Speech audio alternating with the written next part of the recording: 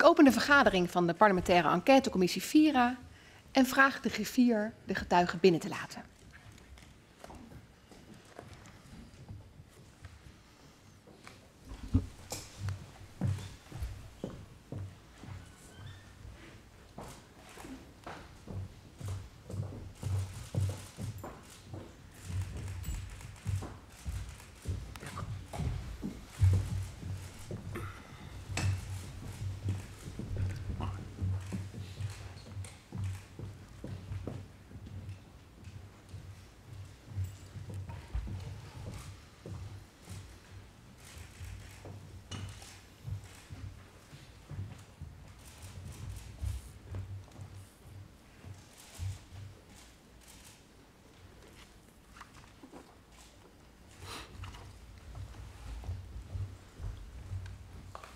Welkom, meneer Pans. U wordt vandaag gehoord als getuige. En als getuige bent u verplicht de waarheid te spreken. Daarom zal ik u beëdigen voordat we met het verhoor beginnen. En dan vraag ik u met de belofte te bevestigen dat u de gehele waarheid en niet dan de waarheid zult zeggen. Wilt u dan met mij gaan staan? En mij nazeggen, dat beloof ik. Dat beloof ik. Neemt u plaats. Dank u wel.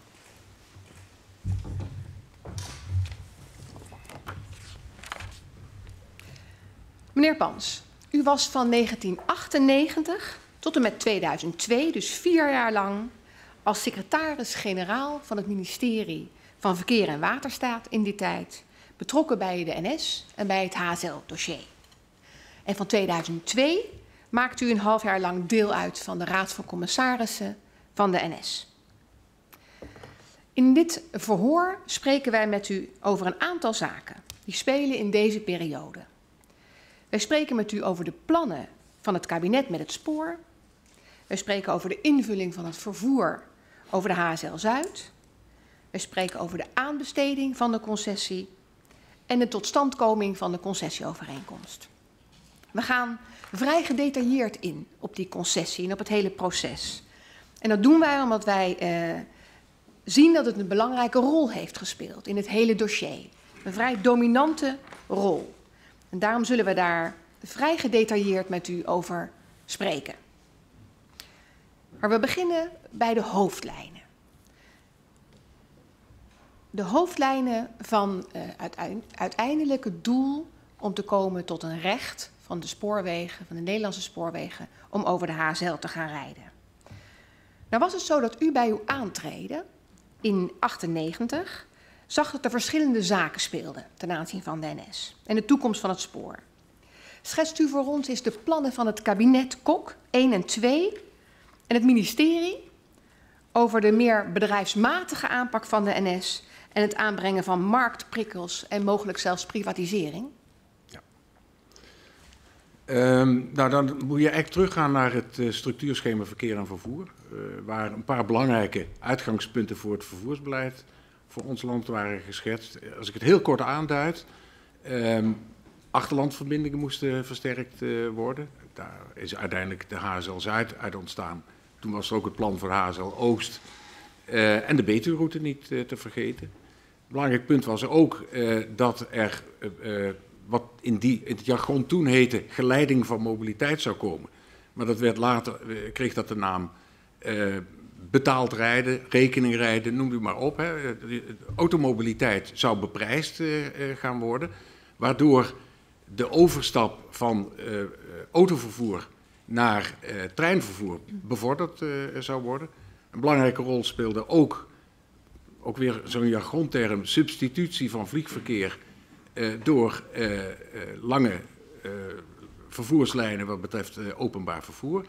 En wat betreft de sturingsprincipes gold toen als belangrijk uitgangspunt, ik vat het even samen, marktwerking en liberalisatie.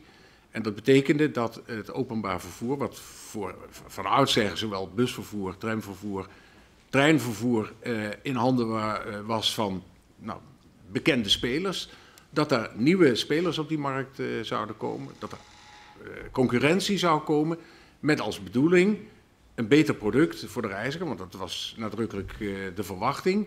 En mogelijk ook lagere kosten voor de overheid, omdat de verwachting was dat die vervoerders een deel van de kosten die de overheid zou maken, zou betalen via gebruiksvergoedingen of concessievergoedingen. En daar is ook het idee uit ontstaan dat niet alleen overigens voor de HSL, maar dat geldt ook voor de Betuweroute en ook voor het kernnet van de Nederlandse spoorwegen, dat waar voorheen de overheid 100% van de investeringen in infrastructuur voor zijn rekening eh, nam, een deel van die kosten terug uh, zou komen via uh, een vergoeding voor, uh, voor het gebruik. En als we dan even heel specifiek kijken naar de NS. Ehm, er zijn natuurlijk een aantal zaken die dan tegelijkertijd spelen. De prestatienormen, ja. het wat zakelijker aanpakken, begrijp ik. Wat zegt het over de decentralisaties? Kunt u daar iets over zeggen? Ja, nou ja, de, de, je had dus het kernnet van de spoorwegen. spoorwegen beschouwden eigenlijk alle treinverbindingen als kernnet.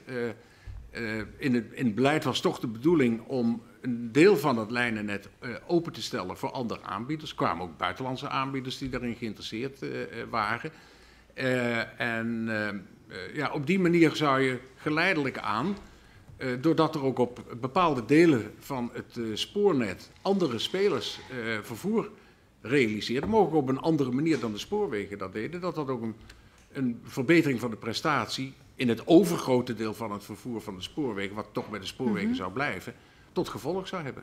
En die privatisering, heeft het ook nou effect gehad op uh, afsplitsing van uh, taakorganisaties? Dus dat niet alles meer ja. door de NS werd gedaan, maar nou ja, een aantal zaken? Dat was natuurlijk al voorheen. Dat was op, op aangeven van de commissie Wijfels. Maar dan gaan we alweer een paar jaar terug in de tijd. was er al besloten om eigenlijk drie onderdelen van de spoorwegen een aparte plaats geven. Je had de verkeersleiding, die laten we zeggen, de capaciteitsverdeling moet doen. Zou, uh, was apart gepositioneerd. Het infrastructuurbedrijf, uh, wat toen RIB heette, wat later de huidige naam ProRail heeft gekregen. En dat je natuurlijk het reizigersbedrijf, de spoorwegen zelf, die alle drie een afzonderlijke rol moesten spelen. En met name die verkeersleiding en ook die, dat infrastructuur bedrijven is natuurlijk wel van belang dat dat een, een, een verzelfstandigde positie zou krijgen, omdat er immers andere spelers ook zouden komen. En hoe keek de NS nou naar dit alles? Wat u nu beschrijft, privatisering, marktwerking.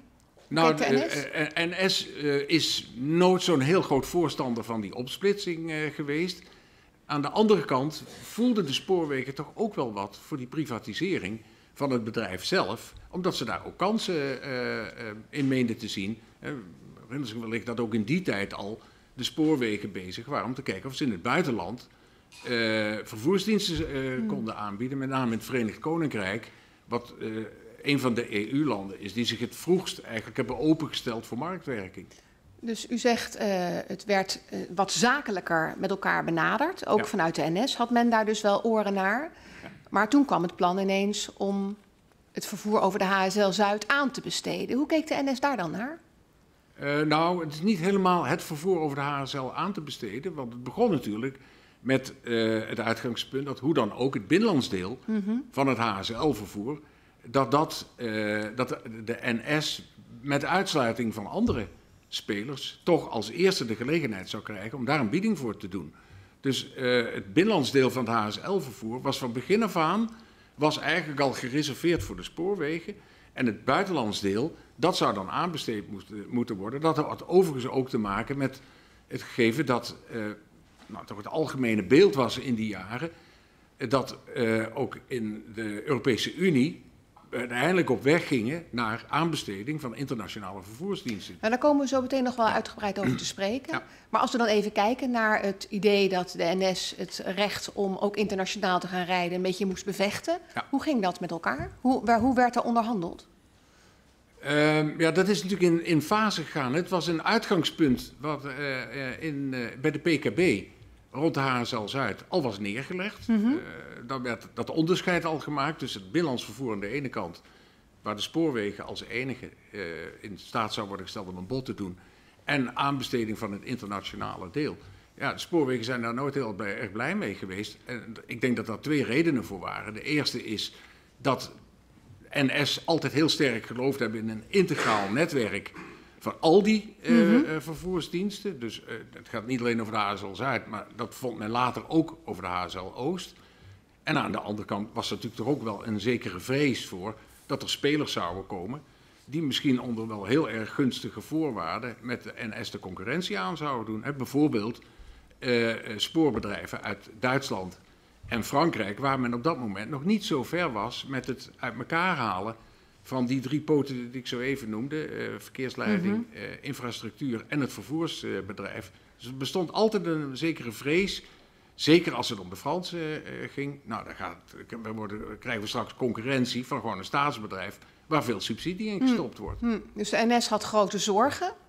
Um, kunt u iets zeggen over de lobby van de NS, bijvoorbeeld naar verschillende partijen? Nou ja, spoorwegen hebben daar nooit een geheim van gemaakt dat zij het niet verstandig vonden om dit zo te gaan doen. En nou ja, als je, als je de hele geschiedenis nog eens naleest, zie je dat dat ook wel regelmatig behoorlijk wat, uh, uh, ja, laten we zeggen, uh, draagvlak vond in de Tweede Kamer. Die ja. in diezelfde periode toch ook vaak signalen afgaf van, wordt die spoorweg, krijgt die wel een eerlijke kans op deze manier? Ik zit naar u te luisteren en de indruk ontstaat een beetje alsof iedereen wel zo dacht, we gaan wat privatiseren, er zijn wel wat zorgen, maar dan hou ik toch even een stukje aan u voor, ja? waaruit toch wel blijkt hoe op dat moment de verhoudingen misschien lagen. En dan lees ik voor uit een analyse waaruit staat dat de NS een keiharde onderhandelaar is. Sterk in het op tafel leggen van nieuwe eisen, problematiserende omstandigheden. De NS volgt steeds haar salami-tactiek. Op elk punt kan de NS weer een nieuwe lobby activeren. Dat klinkt toch niet alsof uh, misschien een beetje zorgen waren, maar dat de gedachte was: we gaan allemaal privatiseren en we maken het een beetje zakelijker. Nee, maar ik denk wat u nu citeert, ik schat in dat dat uit die strategische analyse ja. is die ooit gemaakt is. Toen we midden in die, uh, Verkeer Waterstaat midden in die onderhandeling uh, zat, dan probeer je een inschatting te maken. Uh, hoe, hoe, is de, de andere onderhandelingspartner, hoe zit mm -hmm. die in dat proces? En, en wat ik me daarvan herinner is dat je dan dus ziet dat de spoorwegen sterk zullen blijven benadrukken de integraliteit van het geheel. Mm -hmm. Dat ze zullen problematiseren dat betalen van de kosten uh, van een deel van de infrastructuur. Dat ze het niet goed vinden als stadsgewestelijk vervoer naar andere spelers gaat. Ja, maar en ik wil even ook... concentreren op de HSL Zuid. Ja? Internationale vervoer. Dus we daar dus zien dat ze, dat ze echt wel serieuze problemen zien... en dat ze daarin het hardspel spelen. Ja, volgens uw eigen analyse. Kan ik ze ook helemaal niet verwijten. Nee. Want het was een bedrijf die, die wilde zoveel mogelijk hun, zijn eigen markt... Ja beschermen. En als die markt vergroot werd doordat er nieuw vervoer bij eh, kwam, dan deed hij zijn uiterste best dat hij eh, dat vervoer ook zou krijgen. Dat is, ja, ik wil niet zeggen rupsje nooit genoeg, maar wel iemand die zegt van eh, als dit bedrijf een sterke positie uh, wil hebben en houden, dan moeten, moeten we niet al dit soort dingen allemaal uh, gaan, gaan, uh, gaan zitten doen. Moeten ook geen nieuwe spelers zekere, komen. U wilde een zekere beweging uh, bij de NS, ja. juist om die situatie te schetsen waar we net mee begonnen. Was daar in de HSL niet een soort troefkaart? Nou, ik geloof niet dat de HSL daar specifiek als troefkaart voor gebruikt is. Want er is van begin af aan was toch de, de, de inschatting, dit is een bijzondere lijn. Dit is uh, echt iets wat Nederland in die mate nog niet eerder gedaan heeft. We hadden twee grote projecten in die tijd. HSL, Betuweroute. Betuweroute laten we dan even buiten beschouwing. Maar die HSL, daar ging heel veel overheidsgeld ging daarin. Er moest wel een deel terugkomen, maar het overgrote deel zou toch gewoon betaald worden door de belastingbetaler. Uh, mm -hmm. Nou, daar wilde je natuurlijk ook het beste product uh, mm. op hebben. En het stond niet op voorhand vast dat ook voor dat vervoer nou, de spoorwegen de beste speler zou zijn. Uh, en, en daarnaast moet je rekening houden met de mogelijkheid dat er toch een sterke neiging was om met name internationaal vervoer, om dat ook internationaal aan te besteden. Dus het was, het was niet een instrument wat je gebruikte om de NS op, uh, laat ik zeggen, op een andere manier van werken uh, te brengen. Maar het was ook wel toegespitst op de HSL. De, de sterke overtuiging dat met zo'n nieuw product, want dat was het voor Nederland, nou ja, dat je dat niet op voorhand op de oude manier zou doen. En kunt u nog iets zeggen over hoe de verschillende ministers daarnaar keken? Had uh, de minister uh, van Verkeer en Waterstaat nou dezelfde visie daarop als bijvoorbeeld de minister van Financiën? Ja, die hadden natuurlijk verschillende invalshoeken. De, voor, voor de minister van Verkeer en Waterstaat was primair dat er een goede treindienst uh, zou ontstaan. Dat uh, uit, uiteraard ook het hele project op tijd en binnen budget gerealiseerd mm -hmm. zou worden. Dat we tot een goede vervoersconcessie zouden komen.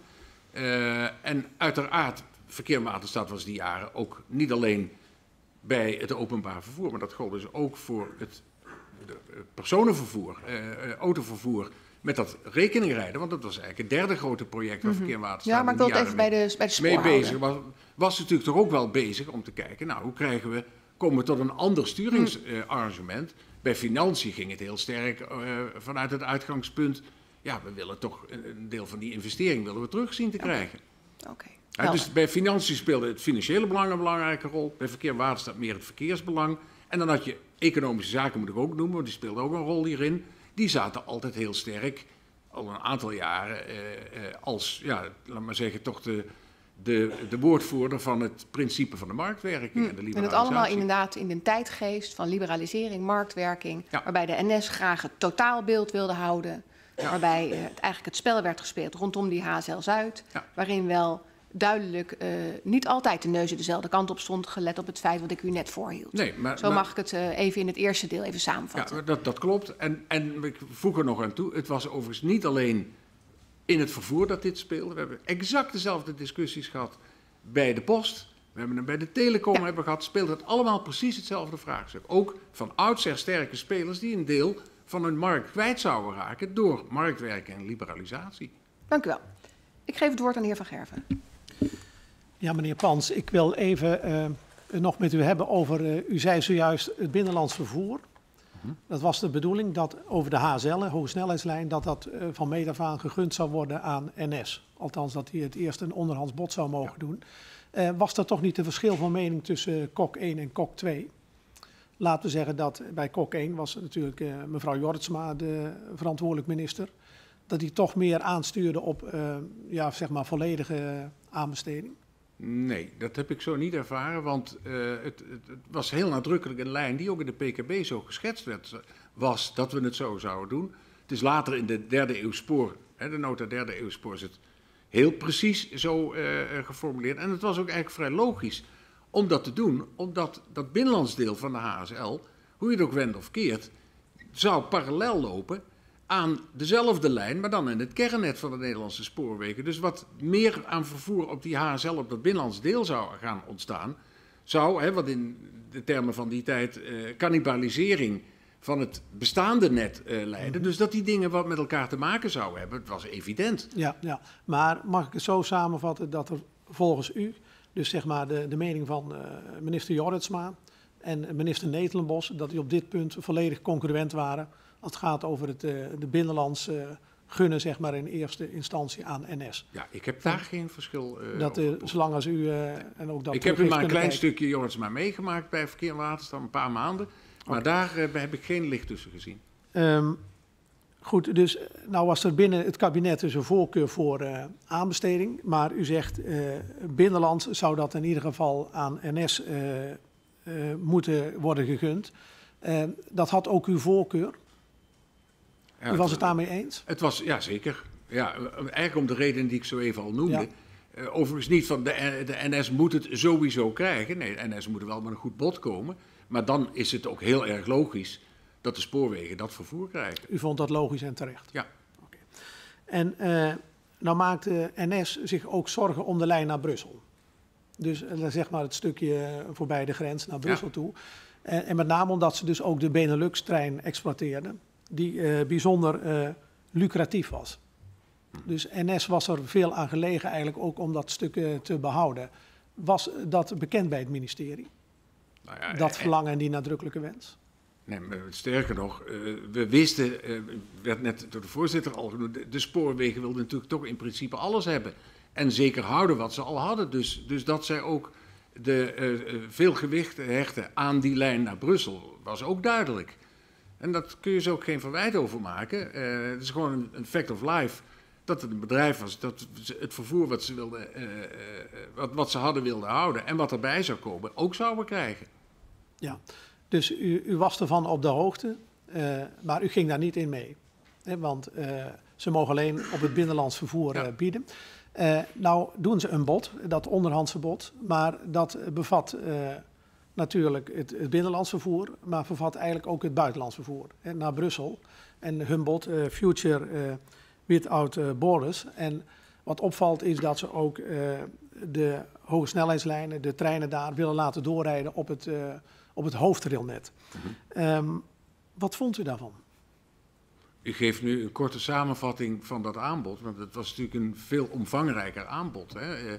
Ze kwamen eigenlijk met een, uh, een voorstel. En wij moeten voorstellen, wij vragen, het ministerie vraagt, kom er een, een aanbod voor het binnenlands vervoer. En wat komt er voor terug? Een aanbod voor het binnenlands vervoer. Ja.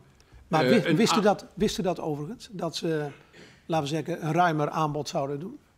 Wij hoorden al redelijk vlot, toen we tegen de termijn aanliepen dat ze met het bod zouden moeten komen, dat we er rekening mee moesten houden, dat ze met een veel omvangrijker voorstel zouden komen.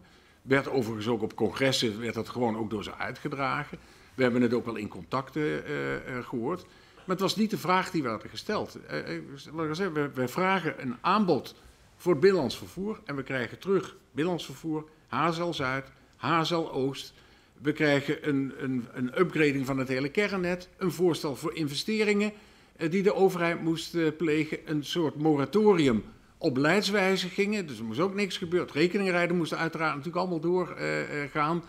Uh, uh, en dan ook nog eens een keer tot 2035. Ja, ja dat is, het is een ambitieuze aanbod, maar echt niet een antwoord op een vraag die gesteld was. Ja, ja. U had daar geen begrip voor. Nou, ik kan er vanuit de schets die ik zo even gaf over hoe de spoorwegen in het dossier zaten kon ik dat heel goed begrijpen dat ze dat deden. Maar het was een, een, een, in een officiële procedure waarin je vraagt om met een bod te komen, geen adequaat antwoord. Nou ja. Wat ze hadden kunnen doen, maar nooit hebben gedaan, dat is dat ze gewoon een, aan, uh, een, een, antwoord gaven op de vraag die gesteld was. Ja. En misschien in een aparte envelop hadden gegeven, als je nog meer wil, heb ik ook nog een voorstel. Maar ik weet dat ons dat niet ja. gevraagd is. Het voldeed niet aan wat u vroeg. Uh, nee. Maar wat vond u er inhoudelijk van? ja, als het, allemaal, als het geld er allemaal voor zou zijn, was het natuurlijk een prachtig voorstel. Uh, al zaten er dingen in die ook nooit gerealiseerd zijn. Hè? HSL Oost is er ook nooit gekomen. Rekeningrijden is er allemaal niet gekomen. Dus het, het was, uh, ja, ik zou zeggen Future Without Borders inderdaad. Want als je, als je jezelf geen beperkingen oplegt, dan kun je inderdaad een hele mooie wereld schetsen. Maar het was niet uh, realistisch op dat moment. Ik denk dat dat niet realistisch was. Ja, ja, nee, en het voldeed uh, overigens ook op geen enkele wijze aan de beleidsuitgangspunten die ook door de Tweede Kamer, onder andere in de PKB, waren vastgelegd. Uh, uh, als we nog even toch over de, want het bod wordt afgewezen hè, door, door het Rijk, of door het kabinet. dat was omdat het niet voldeed aan hetgeen gevraagd was. kunt u dat nog eens nadrukkelijk aangeven? Wat wat werd dan geleverd terwijl dat niet gevraagd werd? Nou, ik heb Waar voldeed het niet aan? Ik heb er denk net al een paar dingen van uh, gezegd. Wij, wij, vroegen om met een voorstel te komen voor binnenlands vervoer. We krijgen terug een aanbod waarin ook de HSL Zuid het internationaal vervoer zit. Mm -hmm. Waarin ook alvast de HSL Oost de exploitatie van geclaimd wordt. Waarbij ook het kernnet volledig gevrijwaard wordt van de concurrentie waar mogelijk toch rekening mee gehouden moest worden. Bijvoorbeeld stadsgewestelijk vervoer zou de spoorwegen niet kwijtraken uh, in dat voorstel. Uh, een concessie die maar liefst tot 2035 liep, waar, wat termijnen waren waar we ook niet aan dachten. En het punt wat ik zo even nog niet genoemd heb, merkwaardigerwijs was ook nog het financiële, de financiële paragraaf van het aanbod, uh, waar de spoorwegen mee kwamen, toch wel aan de dunne kant. Want ja. men kwam tot de conclusie dat binnenlandse HSL-vervoer is verlieslatend, dus er is niks te verdienen. En als je uitrekende, als je door, geloof dat wat uiteindelijk het bod in zijn totaliteit opleverde voor alle zaken die erin zaten, dus alle gebruiksvergoedingen bij elkaar, iets van 2,8 miljard. Daar was dan 1 miljard gereserveerd voor de HSL Zuid. Terwijl men wist, want dat stond in de PKB, dat daar orde grote 1,8 miljard uit moest komen. Nou ja. Dus ook in dat opzicht was het niet ja. aan de maat. Even over de financiën. U zegt 1, 1 miljard. Uh, zat in het bod uh, Future Without Borders, het eerste bod uh, van, van NS. Als je dat aan omzet in vergoeding per jaar, waar moeten we dan aan denken? Als we die 1 miljard vertalen naar... eh, Als je dat per jaar. dan uitzet tegen een termijn eh, die liep toen, hè, we spreken over 1999, dus zeg maar ruim, wat is het dan? 35 jaar. Nou, ik ben niet zo, zo snel in rekenen, maar dat is bij lange na niet de bedragen waar eh, ook in de PKB op werd ingezet. Maar waar werd dan op ingezet? PKB ging uit, wat ik al zei, eh, die ging van 1,8 miljard eh, uit en dat was een orde grootte 100 miljoen per jaar. 100 miljoen per jaar. NS zat daar substantieel onder. Ja. Eh, en even snel 1,8 eh teruggerekend naar 1 miljard, dan zit je in de orde van de helft. Ja, Als we ja. even, en dan over een periode van 30 jaar ook nog eens. Dus dat Ruim was, 30 jaar. Ja. En overigens het was niet gevraagd. Hè. We maken nu een rekensom over iets waar we overigens de NS helemaal niet naar gevraagd hadden. Want u had toch wel gevraagd naar een vergoeding, neem ik aan. Ja, een maar het ging financiële- over het binnenlands vervoer. En het Ja. binnenlands vervoer, in dat bod van de spoorwegen, werd het binnenlands vervoer over de HSL als verlieslatend opgenomen. Dat leverde niks op. Ja. Het enige wat geld zou opleveren was het internationale vervoer. En daar hadden we de spoorwegen helemaal niet naar gevraagd. Goed, ik, eh, ik proef uit uw eh, woorden dat het eh bod dus eh, van geen kant deugde, zeg maar. Dat Nou, het voldeed niet aan de eisen, laat ik het zo zeggen. ja. Misschien was het best wel een goed bod, maar het voldeed niet aan de eisen. Nou, als ik u zo hoor, dan is dat toch, zit daar niet echt een positieve connotatie, wekt dat bij mij op. Maar toch krijgt het kabinet, hè, zegt van we geven NS toch nog een tweede kans. Ja. Waarom die tweede, of zo u, zo u wil, die laatste kans? Ja, want een formele tweede kans was het natuurlijk niet. Eh, er zijn ook allerlei adviezen over bij de landsadvocaten over ingewonnen toen we naar de vervolgprocedure stapten. We hebben toen wel gezegd, we geven de spoorwegen, nou ik denk iets van een week, anderhalve week nog, eh, om dat eh, bod eh, in overeenstemming te brengen met de vraag die we gesteld eh, hebben. Dus puur een bod op het binnenlands vervoer. Eh, en dat is niet gekomen. Maar u zegt, ja, we geven ze nog een kans. Ja. Maar vond u dat zelf dan eigenlijk eh, al niet reëel dat ze die kans kregen? Jawel, want eh, eh, als, kijk, de spoorwegen hebben toen ook, later is dat zeker een aantal malen door ze gecommuniceerd van, nou, hebben jullie ons bod eigenlijk allemaal wel goed begrepen? Hè? Is dan ongeveer de woordkeuze die in de stukken tegenkomt. Maar wat, wat, wat het ministerie gewoon aan de spoorwegen vroeg, als je nou gewoon even beperkt tot wat jullie gevraagd hebben, een aanbod voor het binnenlands vervoer. Want wij vinden nog steeds, om de inhoudelijke reden die ik zo even noemde, hè, de, toch de samenhang met het kernnet, dat het verstandig zou zijn wanneer de spoorwegen zelf dat vervoer, het binnenlands deel van het vervoer voor een rekening eh, blijven nemen, dat ze daar met een fatsoenlijk aanbod voor, eh, komen, dan kunnen we de discussies over al die extra's die ook in dat pakket zaten, die kunnen we apart even parkeren voor procedures die daarvoor aan eh, Ja. de orde zijn. Dus het was vrij logisch dat we ze die kans Ja. nog gaven. Maar goed, u heeft daar één week voor en dan legt u eigenlijk drie opties voor. Dat is zeg maar hè, wat u net schetst zelf, van kom nou, eh, of teken eigenlijk, want u had ook al een conceptcontract erbij, hebben Ja. we gezien. Van teken daar nou voor, dan heb je het binnenlands vervoer. De tweede mogelijkheid was eigenlijk van we besteden de hele lijn openbaar aan en NS mag meedoen tot maximaal 50 Hè, bij de, iemand wint dan, eh, zijn er niet NS en NS kan tot maximaal 50% eh, daarin participeren. En het derde was gewoon openbaar aanbesteden. Ja. Eh, had u enig idee dat, dat NS daarop in zou gaan? Want dat moet dan binnen een week. Was dat eigenlijk ook wel een serieus voorstel van het kabinet? Nou ja, ik denk eerlijk gezegd dat je als je een procedure ingaat waarbij je zegt, geven de spoorwegen als eerste en enige de kans om op binnenlands vervoer eh, eh, in te schrijven, als dat niet lukt. Hè, want dat was namelijk een van de voorwaarden. Ja. Ook al in de derde eeuw eh, spoor zo geformuleerd, als de spoorwegen niet met een goed bod komen, dan gaan we aanbesteden. Want dat was toen al geformuleerd. Dan is het denk ik mooi dat je ze opnieuw nog een kans geeft, ondanks het feit dat ze zich totaal niet hebben gehouden aan de specificaties die zijn aangegeven. Dus de spoorwegen had hier gewoon een keuze uit kunnen maken. Ja. Wat ze uiteindelijk later ook wel gedaan hebben door toen te zeggen, nou dan, dan moet het uiteindelijk maar gewoon openbaar aanbesteed eh, worden. Maar dan zijn we alweer verder in de tijd. Ja. Ehm, nou was eh, NS buitengewoon gegriefd door het feit dat het Intercity Max bod, hè, zoals dat dan eh, Ja. heet, werd afgewezen. En er verschijnen ook artikelen in de Telegraaf. En er kwam een hele hoop commotie daaromheen. Had u daar enig begrip voor dat ze zo gegriefd waren? Nou eh, ja, Martin Delen moet ik zeggen. eh, wa- waarom ik het best begrijp, is omdat ze echt wel hun best hadden gedaan om met een prachtig voorstel te komen. Ik bedoel, als je het voorstel, zo, u heeft het gezien, het ziet er geweldig uit. Uh, uh, en en dus daar hadden ze hun beste mensen op gezet. Dus dat ze daar zeker trots op hadden, dat begrijp ik.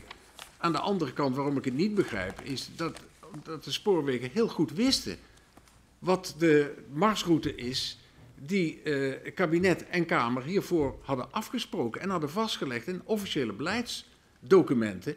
En waarbij ze bovendien ook op dat moment nog heel sterk het gevoel bestond: ja, maar mensen, we hebben natuurlijk toch al die operaties rond uh, afsplitsing van takenorganisatie, de nieuwe marktordening waar aan gewerkt wordt, is ook niet zomaar een leuke hobby die in gang is gezet. Nee, dat is een lijn die het kabinet voor de komende jaren met het openbaar vervoer graag wil doorzetten. Ja, maar u, uh, bij deze laatste opmerking verknoopt u eigenlijk, uh, laten we zeggen, je hebt dan het bod, maar je hebt ook uh, andere zaken als het afsplitsen van die takenorganisaties. Mm -hmm.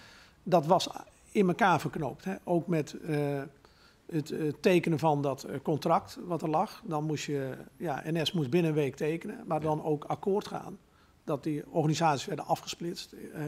ja, laten we zeggen, het jaar daarop. Um, ja. Was dat niet eigenlijk uh, uh, te snel of als het ware het mes op de keel zetten dan van NS? Nou, uh, kijk, als we, als we kijken wanneer, bijvoorbeeld als het gaat over de opsplitsing in die drie afzonderlijke eenheden binnen de spoorwegen, van wanneer dat dateert. Als ik het uit mijn hoofd zeg, commissie Wijfels, misschien is dat eind jaren tachtig geweest dat die met een rapport zijn ja. gekomen. Dat was dus al twaalf jaar daarvoor kun je toch niet zeggen uh, dat het even uh, over uh, dun ijs, een nachtje dun ijs schaatsen is ja. gegaan. Daar werd al lang aan gewerkt. En overigens binnen de spoorwegen was men ook al nadrukkelijk aan het nadenken over wat betekent dat voor het bedrijf. Bijvoorbeeld, nou ja, misschien gaan we inderdaad echt privatiseren. Dan gaat die staat als aandeelhouder er ook uit. Maar dan moeten we er ook gezond voor staan als spoorwegen. Mm. Dat was overigens ook een van de redenen waarom men zo nadrukkelijk ook eh, dat extra vervoer ook wilde waarborgen dat men het had. Want dan staat er gewoon een sterke organisatie die ook klaar is voor een private positie. Ja, uh, als ik het zo mag samenvatten, dan uh, zegt u van nou, NS wist wat haar te doen stond, wist ook wat van overheidswegen gevraagd werd. Heeft, laten we zeggen, een eerste bod gedaan wat niet beantwoordde wat de overheid vroeg. Het was financieel uh, onder de maat. Hè. Er werd uh, van alles aan elkaar verknoopt. De concessie was uh, veel langer dan beoogd, hè, 30 jaar in plaats van 15 jaar. En ook het feit dat het bod eigenlijk, zeg maar, de introductie van, van marktprikkels of meer concurrentie feitelijk onmogelijk maakte. Kan ik het zo samenvatten? Ja. Oké, okay. wil ik het woord aan de heer Elias geven.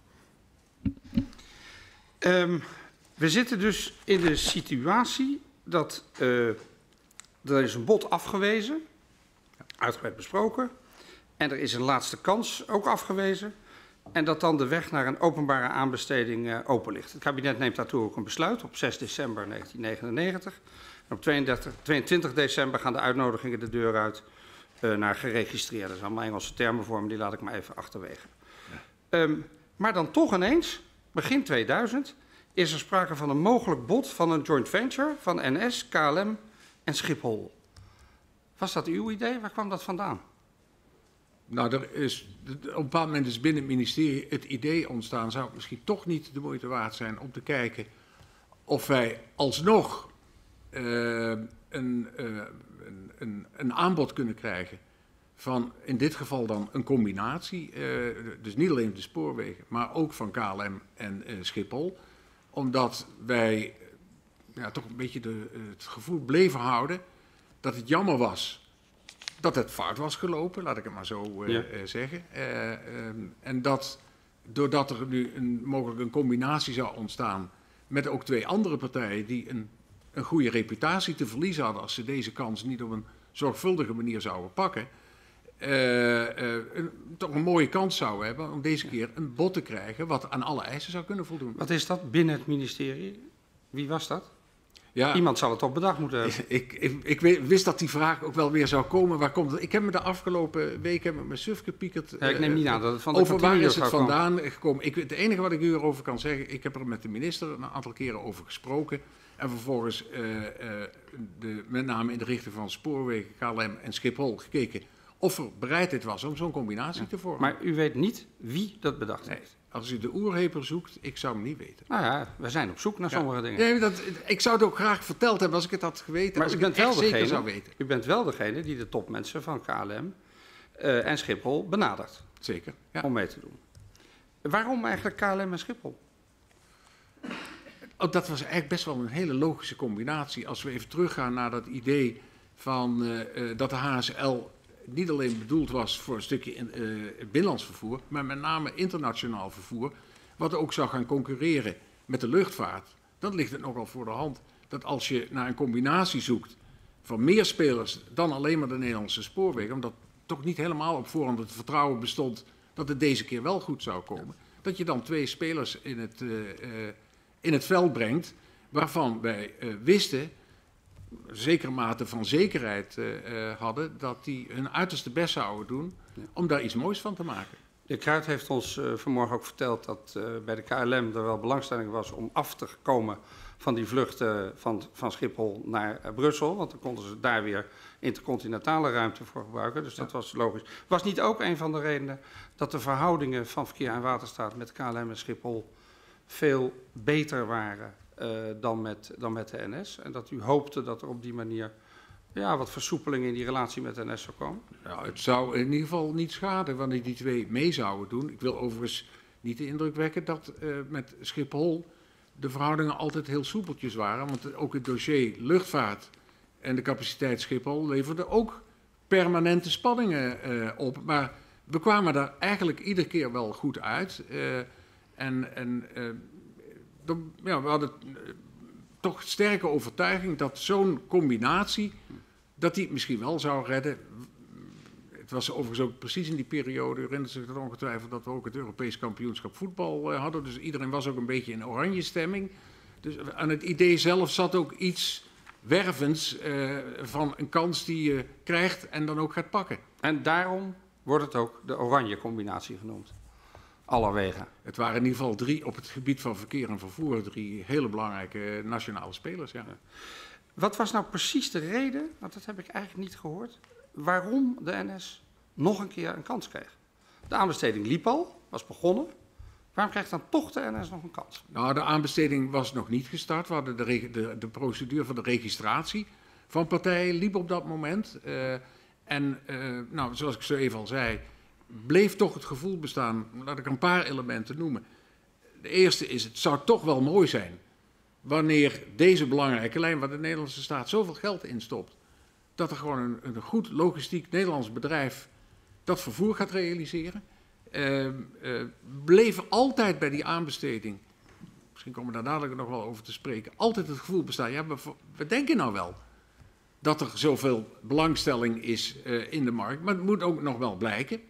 Eh, dus eh eh, kunnen we wel heel veel verwachtingen erover hebben.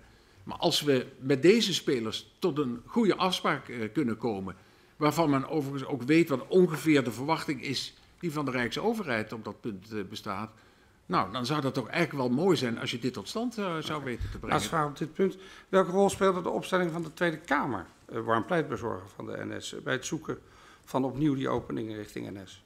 Nou, ook dat heeft eh, denk ik daarbij een rol eh, gespeeld. Want eigenlijk in alle stadia eh, waarin dit dossier te maken kreeg met voortgang in de aanbesteding, was er toch vaak wel een kritische Tweede Kamer die, die nou, toch wel heel sterk bepleitte dat de Nederlandse spoorwegen dit vervoer zou krijgen. Dus, dus als je dit tot stand zou weten te brengen, was je ook verzekerd van tevredenheid van de Tweede Kamer. Nou, is dat toch ook niet verkeerd, lijkt mij. Dus we moeten die periode, begin eh 2000, toch echt zien dat eh, de overheid, de staat, het kabinet serieus werkt aan een onderhandse gunning aan die oranje combinatie. Zeker, ja. Dan eh, gaat die oranje combinatie ook inderdaad vrij serieus van, van slag. Hè. Die maakt ook een, een, een, een ondernemingsplan en dat soort dingen. Ehm, was u bekend met de concrete inhoud van dat voorstel en eh, de bijbehorende concessievergoeding? Dus wat er op tafel zou moeten komen voor die combinatie om te mogen exporteren op die lijn. Nee, wat, wat ik daarover kan zeggen is het volgende. eh, de gesprekken met die drie spelers die we- vonden plaats vanuit de projectdirectie. Eh, voor de HSL. Dus die, die was met name informatie aanreiken om tot een goed, goede beoordeling te kunnen Ja, komen. maar even voor de duidelijkheid. Projectdirectie HSL Ja? was dus het team dat de hoge snelheidslijn vanuit verkeer en waterstaat voorbereidt. ja, zo is het. Dat, is dus, ja. dat stond dus indirect ook ver ergens onder u. Jazeker, het was gewoon een, een, een projectdirectie van het ministerie. Ja. En die kreeg de, in ieder geval de opdracht om de informatie aan te reiken aan die drie spelers die ze nodig hadden om te kunnen beoordelen eh, of eh, als zij straks formeel de vraag zouden krijgen, want dat was op dat moment nog helemaal niet aan de orde, dit was een verkenning die plaatsvond, de formele vraag zou eh, krijgen, komt u met een bod, dat ze dan zoveel wisten van wat ze moesten doen, dat dat bod inderdaad een succesvol bod zou worden. Wij wilden natuurlijk geen herhaling hebben van wat er natuurlijk eerder was gebeurd toen het ging over die onderhandse aanbesteding, of gunning voor eh, het binnenlands, eh, eh, binnenlands vervoer. Ja. En als je kijkt wat ze uiteindelijk daarvoor hebben aangeleverd, is het ook een hele globale beantwoording van de vraag waaruit je kon afleiden. Hè, we- we hebben- het ministerie heeft toen ook eh, drie brieven gekregen waarin ze hun kandidatuur eh, nadrukkelijk hebben gesteld. En daarin werd duidelijk, wij zullen voldoen aan de financiële eisen zoals in de PKB zijn opgenomen. Iedereen wist dat dat 1,8 miljard was, want dat stond gewoon in de PKB. Ze hadden er ook aan toegevoegd, het was mooi. En als het, het plaatje er gunstiger uitziet, dus meer reizigers gaat opleveren, dan is er ook, eh, lastig woord, een earn-out eh, is er mogelijk. Dus dan krijg je nog eh, iets extra's. Eh, eh, en dat gaf voldoende vertrouwen dat inderdaad op grond van wat er inmiddels allemaal onderzocht was, als, wij, als het kabinet daadwerkelijk zou besluiten om af te zien van die openbare aanbesteding, maar in te zetten op de oranje combinatie, dat er dan een goed, goed bod zou komen. Even nog over dat bod, straks over de juridische kant. Ja. Dat bod was bekend bij Verkeer en Water. Het was geen officieel bod. Hoe moet ik dat zien? Het kon geen officieel bod zijn, want als je een bod doet, dan moet je ook als wederpartij het gestand doen op het moment dat het voldoet aan de eisen. We waren zover nog niet, want het kabinet moest nog een besluit nemen dat er überhaupt geen openbare aanbesteding zou plaatsvinden, maar dat de oranje route gevolgd zou worden. Dat had het kabinet niet besloten nog. Nee, maar eh, tenminste uit ons onderzoek blijkt dat wel degelijk iedereen die betrokken was, dus bij die projectdirectie, maar ook op het ministerie zelf, wist dat er een bepaald bedrag in de lucht hing. Het was geen formeel bod, maar iedereen rekende daarmee. Ja, natuurlijk. Hoe hoog was dat bedrag? Ik heb volgens mij die vraag net al beantwoord toen ik zei, de spoorwegen lieten weten dat ze zich zouden, dat ze zouden Zeker. voldoen aan de eisen, financiële eisen, PKB. En de PKB zei 1,8 miljard. Maar u gaf geen antwoord op de vraag wat dat dan per jaar zou betekenen voor de NS. En dat hebben wij al vastgesteld, maar we willen het ook graag van u horen. Nou, dat is dus die 1,8 miljard, Ja. die kunt omrekenen in orde grootte eh, 100 miljoen per jaar. En dat was u dus bekend. Jazeker. We wisten wat in de PKB stond, dat wist iedereen. En het was u natuurlijk ook bekend eh, dat er eh, bij de NS eh, en met de NS en tussen de NS en Verkeer en Waterstaat was afgesproken. Als het allemaal niet doorgaat en het, gaat, het loopt mis om welke reden dan ook, dan gaan we gewoon door met aanbesteden. En zoals het dan letterlijk in een van de stukken staat, dan verdwijnt het ondernemingsplan van tafel en heeft het nooit bestaan.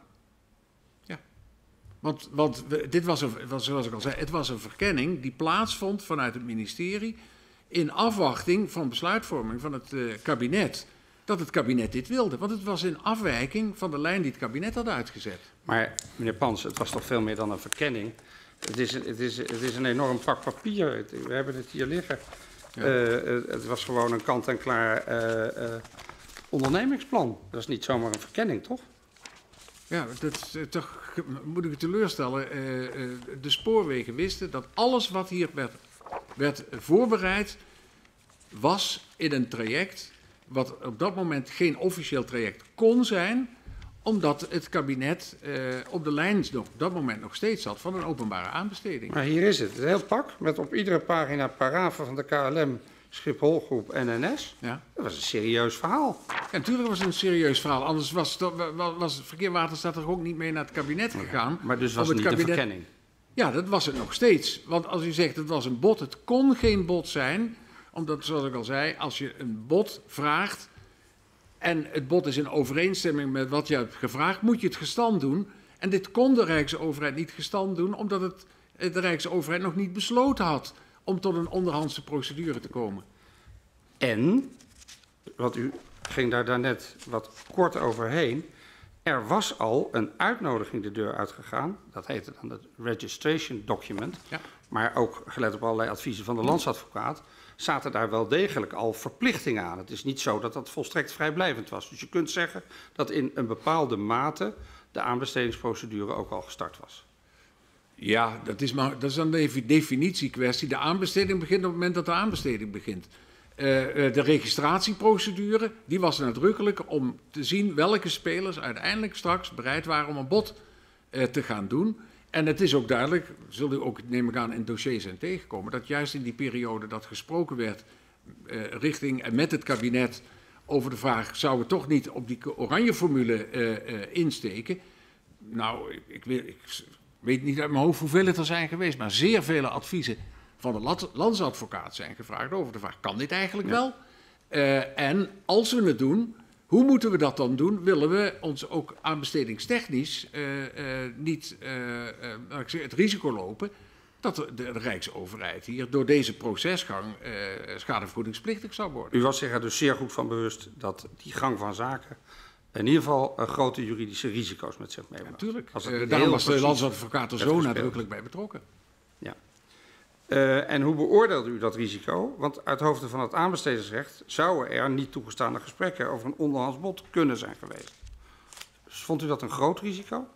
Nou, daar, daar ging steeds de discussie natuurlijk over. Tot hoever mag je hier eigenlijk gaan? En het werd duidelijk dat als uiteindelijk deze verkenning, die ik toch echt nog wel even een verkenning blijf noemen, zou omgezet worden in een afwijking van de afgesproken procedure rond registratie en daarna aanbesteding, eh, dan moesten we wel met hele goede argumenten eh, komen. En dat zo transparant mogelijk doen waarom we afweken van de, van de oorspronkelijk aangegeven route, ook naar die andere marktpartijen toe. Zei u nou daarnet dat Verkeer en Waterstaat eh, met dat probleem naar het kabinet is gegaan? Nee, wat ik zei is, wij hebben diverse malen vanuit Verkeer en Waterstaat de landsadvocaat geraadpleegd over de vraag of dit kon. En daar was het kabinet van op de hoogte. Althans, de betrokken ministers, waar later, waar in die periode, eerste helft 2000, eh, eerste helft 2000, diverse gesprekken mee hebben plaatsgevonden. Zij wisten dat dit gaande was. Er bestond eh, grote twijfel bij een aantal bewindslieden of dit eigenlijk wel kan. Eh, en dat is de reden waarom verschillende keren de landsadvocaat gevraagd is: kan dit? Eh, onder welke omstandigheden kan dit? Hoe moet je dat dan doen? En die gaven ook duidelijk aan: als je uiteindelijk ervoor kiest om deze route op te gaan, moet je zeer transparant aangeven dat je de procedure stopt die eh, was gestart met betrekking tot registratie en later aanbesteding. De redenen waarom je het doet, en die redenen moeten ook meer zijn dan alleen maar... we willen het graag een Nederlands bedrijf geven, er moeten veel meer overwegingen zijn...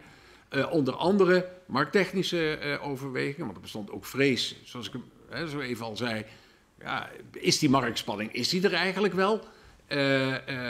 Dus er moeten ook vervoerstechnische redenen zijn waarom je dit doet. En bovendien moet toch het perspectief op lange termijn open blijven, dat ook op langere termijn we uiteindelijk toch weer gaan aanbesteden. Ja.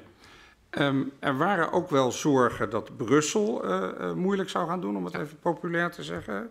Zou bezwaar kunnen maken tegen het afblazen van die openbare aanbesteding om vervolgens dan toch onderhands te gunnen. Die risico's werden ook eh, Die, stonden, gezien. die kwamen allall terug in diezelfde adviezen van de landsadvocaten. Die hebben er onder andere overigens ook toe geleid dat er ook natuurlijk met, eh, in Brussel gesondeerd is. eh, eh, hoe zou dit nou vallen? Hè? We hebben dus de, de toenmalige eh, permanente vertegenwoordiger Ben Bot is nadrukkelijk gevraagd: probeer nou eens een inschatting te maken. Kan dit eigenlijk wel? Moet je met die verschillende directoraten-generaal, ik geloof er al drie of vier directoraten-generaal in Brussel bij betrokken waren, moet je die dan allemaal gaan vragen? eh, eh, om te voorkomen dat we op een bepaald moment die keuze maken en dan worden we ineens door Brussel eh, teruggefloten. Was ook eigenlijk de vraag, misschien moet je zelfs kijken of de NMA eh, bereid is om in een vroegtijdig stadium aan te geven dat ook zij geen problemen hier zien. Ja. Nou, dat is Ja, allemaal loopt- onder ogen gezien. U loopt ietsje voor op mij in de tijd. Oh, Ehm, maar het, het is er wel allemaal waar wat u zegt. Ehm, dan komen we dus in de situatie dat het half april is. En dan is het eh, eigenlijk of de aanbesteding stoppen of die oranje combinatie voortzetten. Dat is eigenlijk kort gezegd eh, de situatie. Eh, binnen het kabinet, want daar hebben we het nog niet over gehad. Binnen het kabinet eh, bestonden grote reserves tegen dat onderstands gunnen aan die oranje combinatie. Natuurlijk vanwege die aanbestedingsrechtelijke en mededingingsrechtelijke risico's die eraan verbonden waren. U zei al, er werd niet voor niks iedere keer uh, advies van de landsadvocaat gevraagd. Maar er bestonden ook zorgen over het, over het aanzien van de Nederlandse staat. De schijn zou gewekt kunnen worden dat de NS bevoordeeld werd. En dat was niet goed natuurlijk. Um, hoe beoordeelde u dat risico? Ja, daar had ieder, ieder zo zijn eigen risico-inschatting in. Uh, uh, dat, kijk, een kwestie van imago, dat is altijd een gevoelsmatige kwestie. Of je denkt dat je daar grote risico's uh, loopt. Kijk, als het puur en alleen het gevoel zou zijn geweest. ja, men wil Nederlandse waar alleen maar aan Nederlanders verkopen. Dan had je in Brussel natuurlijk best wel een probleem gehad. Maar het, reikte wel iets verder. De redenen waarom vanuit Verkeer en Waterstaat deze actie in gang was gezet. Bijvoorbeeld ook het feit dat inmiddels wel duidelijk was. Want al die contacten met Brussel leverden natuurlijk ook, wel een paar inzichten op. Een van die inzichten uh, was dat dat beeld wat er bestond, namelijk Brussel eist internationale aanbesteding, dat dat helemaal niet zo hard was. Dat was. Het was wel het streven van Brussel om internationaal vervoer aan te besteden, maar het stond in geen enkele richtlijn als bindend opgenomen. Dus er mocht ook van afgeweken worden. Uh, een belangrijke eis die ook steeds werd geformuleerd. Wacht even, als we internationaal gaan aanbesteden, waardoor dus buitenlandse bedrijven in Nederland het HSL-vervoer kunnen krijgen, dat mag dan toch ook wel betekenen dat Nederlandse bedrijven omgekeerd ook in die buitenlanden terecht zou, zou kunnen komen, de zogenaamde reciprociteit. Vreemd genoeg bleek toen dat je dat wel als een hele logische vraag kon beschouwen, maar er stond nergens in de Europese regelgeving beschreven dat dat een eis was. Dus die viel ook weg. Uh, dus er bestond langzamerhand, bestond er toch wel, uh, begon er een, een, ook wel enige twijfel te bestaan over de vraag of Brussel nou wel zo imperatief was op dit uh, gebied. Nou, dan ontstaat er natuurlijk ook ruimte. Maar daar werd ook heel verschillend over gedacht. Daar werd verschillend over gedacht. Er waren natuurlijk toch, er waren mensen die ook binnen het kabinet, die het gevoel bleven houden, nou even los van wat de juristen erover zeggen. We vinden het gewoon voor de beeldvorming van Nederland niet goed. Er waren er ook die heel nadrukkelijk uh, het gevoel hadden: het is juridisch, levert het aanbestedingstechnische problemen op. En of de landsadvocaat nou vijf keer schreef dat als je dat maar goed vorm uh, gaf en transparant die besluitvorming uh, afwikkelde, dat dat risico beperkt was. Zeker als je op langere termijn wel aanbesteding als een mogelijkheid openliet. Ja, die mensen die, die dan onzekerheid blijven houden op het juridisch punt die, houden, die blijven hier met, bij deze oplossing ook problemen houden. En, en last but not least, de inschattingen waren ook, dat was met name aan de kant van financiën, dat ja, deze weg uiteindelijk de staat minder zou opleveren dan dat we gewoon gingen aanbesteden. Hoe lag het krachtenveld in de ministerraad? Hoe lag het tussen de departementen? Nou ja, eh, even met de laatste beginnen, financiën uh, geloofde heel sterk in een stevige opbrengst uh, uh, in een aanbestedingsproces. Dus die wilde dus door hun, met aanbesteden? Hun gevoel was niet aanbesteden. Dan komen we ongeveer weer terug bij wat we eerder van de spoorwegen hebben gezien. Dus daar was weinig enthousiasme voor. EZ, heb ik in het begin ook al aangegeven, zat altijd heel sterk op het thema marktwerking. Nou, onderhands alleen maar aan de oranje combinatie uh, de gelegenheid geven om met een bod te komen, is niet conform het streven naar marktwerking. dus EZ was daar ook geen groot voorstander van. Nou, en Verkeer Waterstaat was toch langzamerhand wel zo ver gekomen dat we zeiden, ja, we vinden toch ook wel behoorlijk wat risico's aan die openbare aanbestedingsprocedure. Bovendien, de tijd begint ook te dringen. We hadden al heel wat tijd, was er al verspeeld. Er moest toch, wilde die, wilde die trein in 2005, 2006 gaan rijden, moest er toch op vaart gaan maken, moest ook materieel besteld worden. Dus Verkeer en Waterstaat was op dat moment, zeker de minister, uh, nogal geporteerd voor deze oplossing. Uh, nou ja, en dan was er één andere speler nog in het kabinet die eigenlijk met het dossier als zodanig niet veel van doen had, maar dat was de minister van Landbouw. Ik zou zeggen, wat heeft dat nou weer met een HSL te maken? Uh, maar dat was uh, minister Brinkhorst die heel sterk vanuit dat idee van... ja, jongens, we moeten denken aan ons imago Brussel uh, mee bezig was.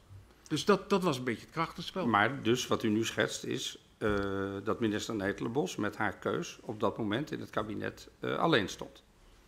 Zeker, ja. En dat is ook de reden geweest waarom er diverse overleggen zijn geweest met de bewindslieden... om toch te kijken of die bezwaren van de bewindslieden te overwinnen eh, waren. Kijk, als er op voorhand was gezegd, we hebben, we hebben nou eenmaal als kabinet afgesproken, we gaan openbaar aanbesteden, klaar. Nou, dan hadden misschien één, was er misschien één overleg geweest, misschien twee, en dan was het zaakje klaar geweest. Maar nou, ik weet niet hoe vaak het in de, ik ben natuurlijk Ja, daar gaan we straks doorheen. Oké. maar er is diverse malen over gesproken. Dus ja, men was wel ontvankelijk voor die uitwisseling van argumenten. Maar je proefde dat het enthousiasme niet groot was. Nou, en gaande de tijd, zeg maar, in die verschillende ministerraden verharden de standpunten ook. Dan zie je dat mevrouw Nederlandbos steeds meer alleen komt te staan. Nou ja, op een bepaald moment eh, komt, kom je eigenlijk in een fase terecht van... met hoe goede eh, eh, antwoorden je ook komt, het gaat toch niet helpen. Want ook minister Van Meent, haar partijgenoot van Sociale Zaken, was op een gegeven moment schaarde zich in dat, in dat andere kamp, zal ik maar zeggen. Herinnert u zich Nee, daar heb ik geen herinnering aan, maar ik sluit het niet uit. Dat blijkt uit, uit de stukken. Ehm, dan ehm, gaan we even de tijd volgen. Rond 18, 19 mei bent u in het gezelschap van uw collega's, u vertelde er al even over, in Brussel. Om daar te peilen. Daar was ook inderdaad de latere minister Ben Bot ook bij. En ehm, laat ik het dan zo erop houden. Uw interpretatie van dat gesprek was dat er vele mogelijkheden waren om wat Brussel wou met openbaar aanbesteden te interpreteren. En dat er wel degelijk ook een mogelijkheid was, zij het met allerlei haken en ogen en omwegen, en je moest het goed motiveren, om, er, eh, om de keuze te maken om toch door te gaan met die oranje combinatie en niet aan te besteden. Zie ik dat zo goed? Ja, je kunt, ja de- wat het in ieder geval opleverde was dat eh, Brussel niet eist en voorschrijft openbaar aanbesteden. Eh, dat het streven van Europa, maar dat hoorde ook bij die open markt, wel degelijk erop gericht was dat er, ja, laten we zeggen, internationale uitwisseling in allerlei eh, diensten zou gaan plaatsvinden eh, van bedrijven. Dus dat, dat algemene streven was er wel, maar het waren geen formele eisen. Je moest wel het, het spel, de procedure, zorgvuldig spelen. Want als je op voorhand spelers uitsluit op oneigenlijke gronden, dan heb je een probleem. Dus hoe dan ook moest de keuze die je zou maken om, laten we zeggen, vervoerseconomische redenen ingegeven eh, zijn. Eerder dan op grond van Nederlandse waar, zal ik maar zeggen. Eh, en je moest het transparant doen. Dus je kon niet eh, een soort schijnprocedure voortzetten met geregistreerde partijen, terwijl je eigenlijk maar met één partij door wilde Ja. gaan. En vond u dat op enig moment bij de manier waarop eh, uw minister, mevrouw Netelenbos, en u, want ik neem aan dat u samen op precies dezelfde richting zat, eh, eh, voldoende vervoerstechnische en markttechnische argumenten gevonden hadden om inderdaad te zeggen, ja, we kunnen stoppen met die aanbestedingsprocedure? Ja, ik denk het wel. Dus u vond dat u daar een, een- ook juridisch een sterke zaak had? Als, kijk, als de landsadvocaat duidelijk had gemaakt, als je langs die en die weg speelt, dan nog hou je een juridisch probleem, ja, dan hoef je geen ministerraad, eh, hoef je te vragen om zo'n besluit eh, te gaan nemen, want dat is je, je hoofd in een strop eh, steken. En dat, dat kan niet. Dus, dus er is nadrukkelijk, is echt zorgvuldig gekeken, kan dit eigenlijk wel en hoe moet je het dan doen? En daar, daar al die verkenningen, daar is veel tijd aan besteed, die hebben opgeleverd dat het zou kunnen. Ja, ja. En van die ministerraadsvergaderingen, daar, werd u ook natuurlijk, daar wist u alles van. Dat, dat, dat, dat liep door de hele maand april heen. Hè? Dus, eh, 26 Nou, alles wil ik niet zeggen, maar ik was redelijk op de hoogte. Ik was er niet bij, zoals u weet.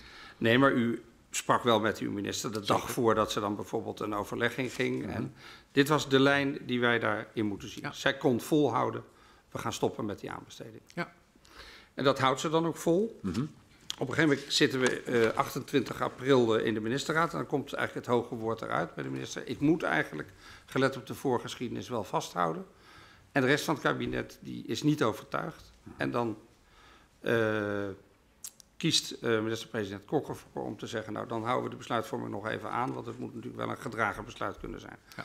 Wat kreeg u daarvan mee? Zij kwam terug van die ministerraad bij u. Wat, wat, wat meldde zij u? Nou ja, ongeveer zoals u nu schetst. Van, eh, het kabinet is nog steeds niet overtuigd eh, van, van deze oplossing. En, ehm, eh, en de minister was er heel erg van overtuigd dat het wel de goede oplossing zou zijn. Dus er is toen gekeken, hoe kunnen we toch dit nog een. hoe kan dit toch nog een goede wending krijgen? Wat zijn de laatste hobbels die je nog moet overwinnen om, om uiteindelijk toch te voorkomen dat we dat ongewisse avontuur van die aanbesteding ingaan, terwijl we eigenlijk met aan zekerheid grenzende waarschijnlijkheid een goed bod eh, van deze combinatie te verwachten hebben als we die deur openzetten. En daar kwam vandaan dat uh, uw minister, mevrouw Netelenbos, op 25 mei 2000 een brief aan haar collega stuurt van de departementen van Algemene Zaken, van Economische Zaken, Financiën, Landbouw en uh, Volksgezondheid. Dat ze zegt, we gaan, ik, ik ga door, we gaan door uh, met het stoppen van de aanbestedingen. We gaan door met die oranje combinatie. Nou, er is, er, zij heeft toen helder gemaakt dat wat haar betreft dit de keuze uh, was. En ze heeft, vervolgens heeft ze uh, de, de minister-president dan nog een keer extra uh, duidelijk gemaakt hoe belangrijk ze dit vond. Ja, nee, maar dat, dat, daar kom ik zo op. Ja. 25 mei schrijft ze een brief aan een aantal andere ministers. Ja, dat waren dus de ministers die iedere keer in die overleggen die, die, uh, in die blauwe zaal dan, plaatsvonden. Uh, en, en die praten daar dan, zoals dat heet, en marge van de ministerraad ja. over. Dat is de ministerraad van de, van de 28 mei. Maar daar, dat, dat werkt dan op de een of andere manier niet. Want op ja. 30 mei stuurt minister Netelenbos een handgeschreven brief aan minister-president Kok. Mm -hmm. Bent u bekend met de inhoud van die brief? Ja. Um, die heeft u gezien, in handen gehad, meegeschreven? Ik heb die brief gezien. Ik heb het niet geschreven, want ja, is handgeschreven. Nou ja, meegeschreven, zat u erbij toen ze nou, we hebben er natuurlijk met, we hebben, Ik heb er met de minister over gesproken uh, en die heeft uh, toen persoonlijk een brief aan de minister-president uh, gestuurd. Binnen Verkeer en Waterstaat, u kent misschien het verschijnsel van de zogenaamde blauwe brief. Dit is een blauwe brief. Nou, maar leg, leg, legt u en, en, en, binnen Verkeer en Waterstaat was de policy van een blauwe brief. Die schrijf je niet snel. Dan moet er wel iets aan de hand zijn. En als je dat doet, is het echt een persoonlijke brief van de minister. En dat is ook niet een brief die in afschrift aan Jan en Alleman gaat. Het is puur en uitsluitend aan geadresseerde eh, gericht. Circuleert verder ook niet op het departement. Uh, en die komt dan ook uh, bij de be bewindspersoon terecht aan wie die geschreven is. Andere departementen hanteerden bij blauwe brieven nog wel eens een andere politiek. Dus die kenden een wat bredere verspreiding of zelfs registratie. Binnen Verkeer en Waterstaat gebeurde dat niet. Het was echt een persoonlijke brief. En die heeft de minister geschreven toen. Wat stond erin? Ja, ik, kan, ik heb de brief Ongeveer. niet na kunnen lezen, uh, maar uh, wat, de boodschap kwam eigenlijk op neer dat zij dan nog een keer de argumenten inhaalde. Waarom zij het belangrijk vond om deze stap nu te zetten. En dat had te maken met uh, de onzekerheid die er bestond wat betreft wat die marktwerking zou opleveren in dit dossier.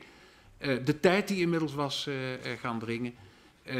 het belang dat ze eraan hechten uh, ook gezien het feit dat de verkenningen die hadden plaatsgevonden de redelijke mate van zekerheid opleverden dat dit tot een goed aanbod uh, zou leiden.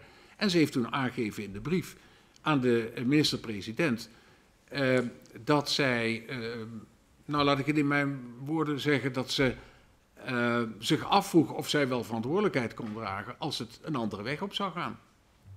Dat is hele voorzichtige Haagse taal voor ze heeft gezegd, ik stap op als nee, ik dat nou heeft ze nou juist niet gezegd. Net niet. Ze schreef niet, uh, ik maak hier een portefeuille kwestie van. Want dan, dan, dan kan je dat heel simpel opschrijven.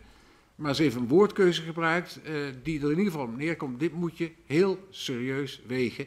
Dit is niet zomaar een wens. Hier is heel goed over nagedacht. En ik vind het heel belangrijk, vanuit de verantwoordelijkheid die ik heb, om hier tot goed vervoer te komen. Uh, dat we deze weg opgaan, uh, waar we nu inmiddels toch zoveel tijd aan besteden om het goed te verkennen of dat tot een goed aanbod uh, zou leiden. Dit moet je zwaar wegen. Dat is het laatste treedje op het trapje naar ik zou aftreden. Eén ervoor. Nou ja, dat weet ik niet. Ik weet, ken die gradaties niet. maar in, in, ieder die, in, ieder die, zo'n brief leest, die, die, die komt tot de conclusie: dit is een belangrijke brief. Wat de inhoud betreft is ons bekend geworden dat in die brief stond uh, dat haar voorgenomen besluit om te stoppen met aanbesteding niet juridisch bestuurlijk, maar politiek gemotiveerd was. Is dat correct? Nou, dat weet ik niet. En er is ook bekend geworden. Maar het was, laat ik het zo zeggen, het was niet zo dat de keuze om uh, uh, niet openbaar aan te besteden, maar onderhands, dat die, dat die om juridische redenen zou zijn getrokken. Nee, dat niet. Maar de juridische onderzoek hadden wel aangegeven dat het kon. Maar het was haar nadrukkelijke wens, beleidsmatige wens, om het anders te doen dan uh, openbaar aanbesteden. Mm -hmm.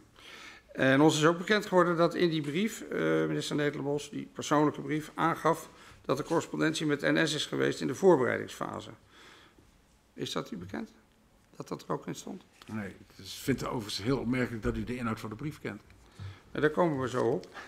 Ehm, want uiteindelijk bespreekt eh, uw minister die brief met minister-president Kok eh, op 6 juni.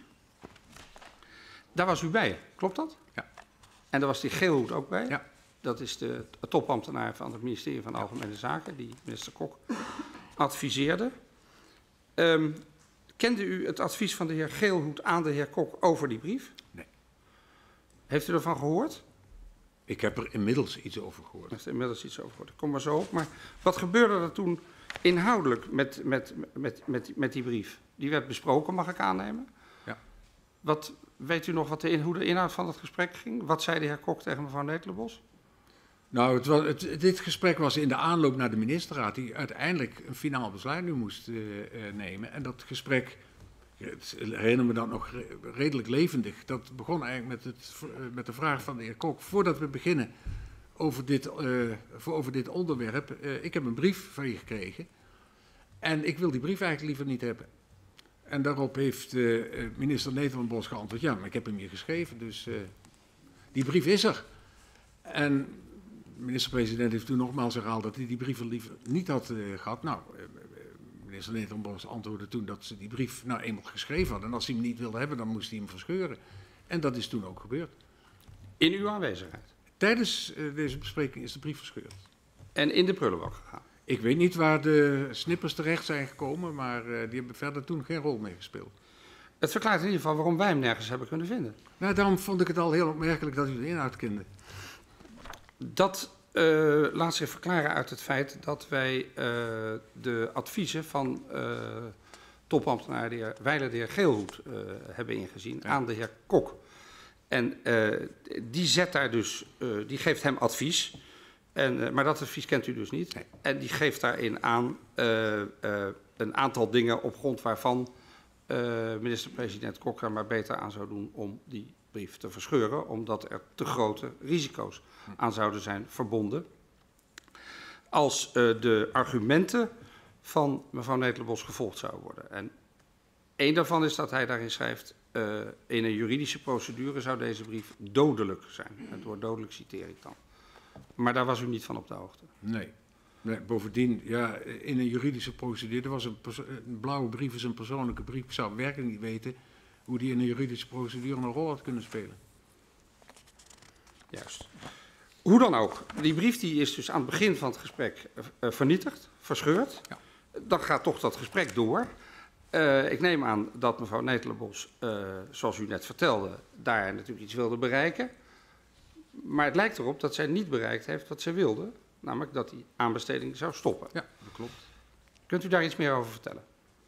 Nou ja, dan, dan is eigenlijk het belangrijkste, wat waren de, uiteindelijk de doorslaggevende argumenten waarom ook de minister-president, want toen was het ook echt eh, zijn rol om ja, een inschatting te maken, hoe gaan we dit nou in dit kabinet eh, allemaal tot een goed eind eh, brengen. Hij bleef zijn twijfels houden over de juridische mogelijkheden. Dat was uit de eerdere gesprekken ook iedere keer wel gebleken. Hoe, wat ik al zei, hoeveel, hoeveel adviezen je van de landsadvocaat ook zou krijgen over hoe je het zou doen dat het zou kunnen. De minister-president bleef daar toch twijfels eh, over houden. Hij zag bovendien zag hij, eh, het verzet bij een aantal bewindslieden eh, in het kabinet tegen die eh, eh, weg van eh, onderhands met de Nederlandse spoorwegen. Nou, de spelers hebben we zo al zo even genoemd. Dat waren natuurlijk ministers ook van de partijen in de coalitie die niet behoorden tot de partij van minister eh Nederland-Bos. Eh, er was ook geen grote liefde, denk ik, in het kabinet op dat moment over de spoorwegen. Het, alles bij elkaar kwam dat bij elkaar geveegd. Was de inschatting van de minister-president. Dit gaat de ministerraad niet volgen. Dus eh, eh, ik stel voor dat we eh, uiteindelijk toch weer oppakken de route die we al hadden afgesproken. Namelijk openbaar aanbesteden. En dat we deze afwijking van de procedure niet in gang zetten. En toen heeft mevrouw Netelenbos dat geaccepteerd. Ja.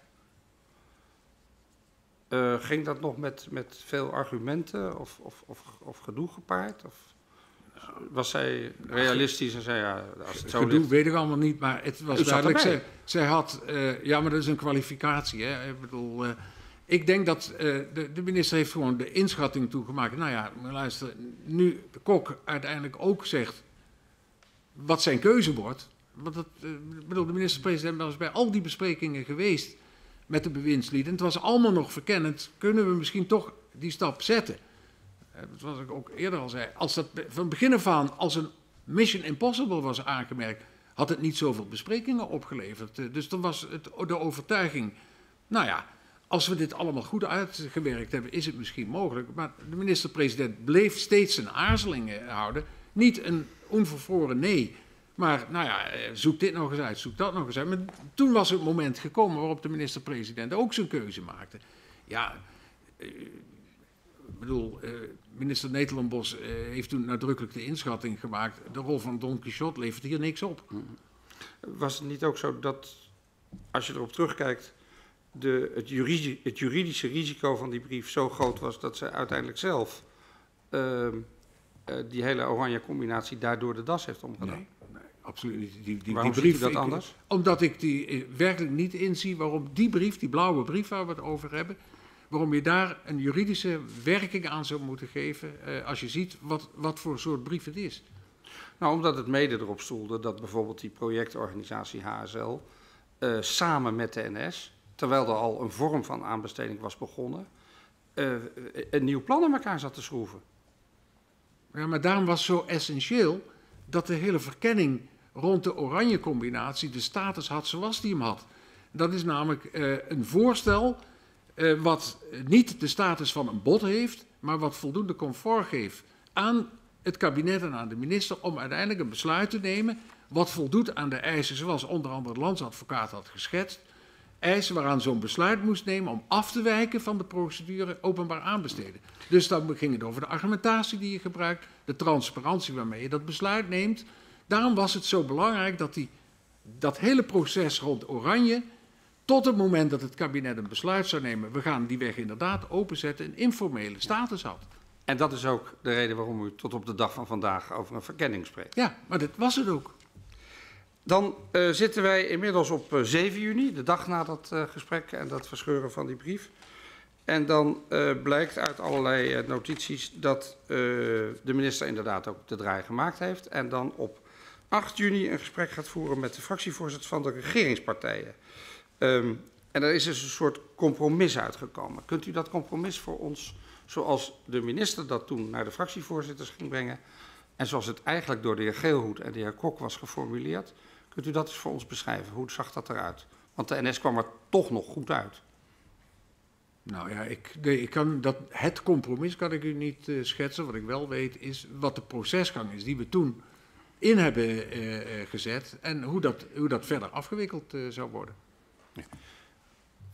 Zoals wij het nu kunnen overzien, lijkt het er sterk op dat er toen dus is besloten om door te gaan met de aanbesteding. Ja. Maar er wel voor te zorgen dat de NS in een comfortabele positie zou kunnen worden gebracht om mee te bieden. Eh, kunt u zich daarin eh, vinden? Het begrip eh, van dat er een procesgang geko- gekozen zou zijn waarin een specifieke comfortabele positie aan de spoorwegen zou worden gegeven, daar heb ik geen herinnering aan. Ik kan me ook niet voorstellen, eerlijk gezegd. Ehm, er is contact met de, met de voorzitters van de, van, de, van de fracties op 8 juni. Weet u, heeft u daar herinnering aan? Weet u daarvan? Nee. Dan komt dat eh, eh, nog een keer terug, het principebesluit in de ministerraad. Dan is er op 14 juni is er torentjesoverleg nog een keer met allerlei betrokkenen, onder meer fractievoorzitters. Weet u daarvan? Nee, daar ben ik niet bij betrokken meer geweest. Daar zijn de zaken, eh, zeg maar, partijpolitiek afgekaart. Maar daar heeft u geen herinnering aan of weet van. Nee, maar ik, eh, wat ik me daarbij kan voorstellen is dat toen inmiddels het besluit, want de minister had inmiddels een besluit genomen waarvan bekend was dat de Tweede Kamer daar niet blij mee zou zijn.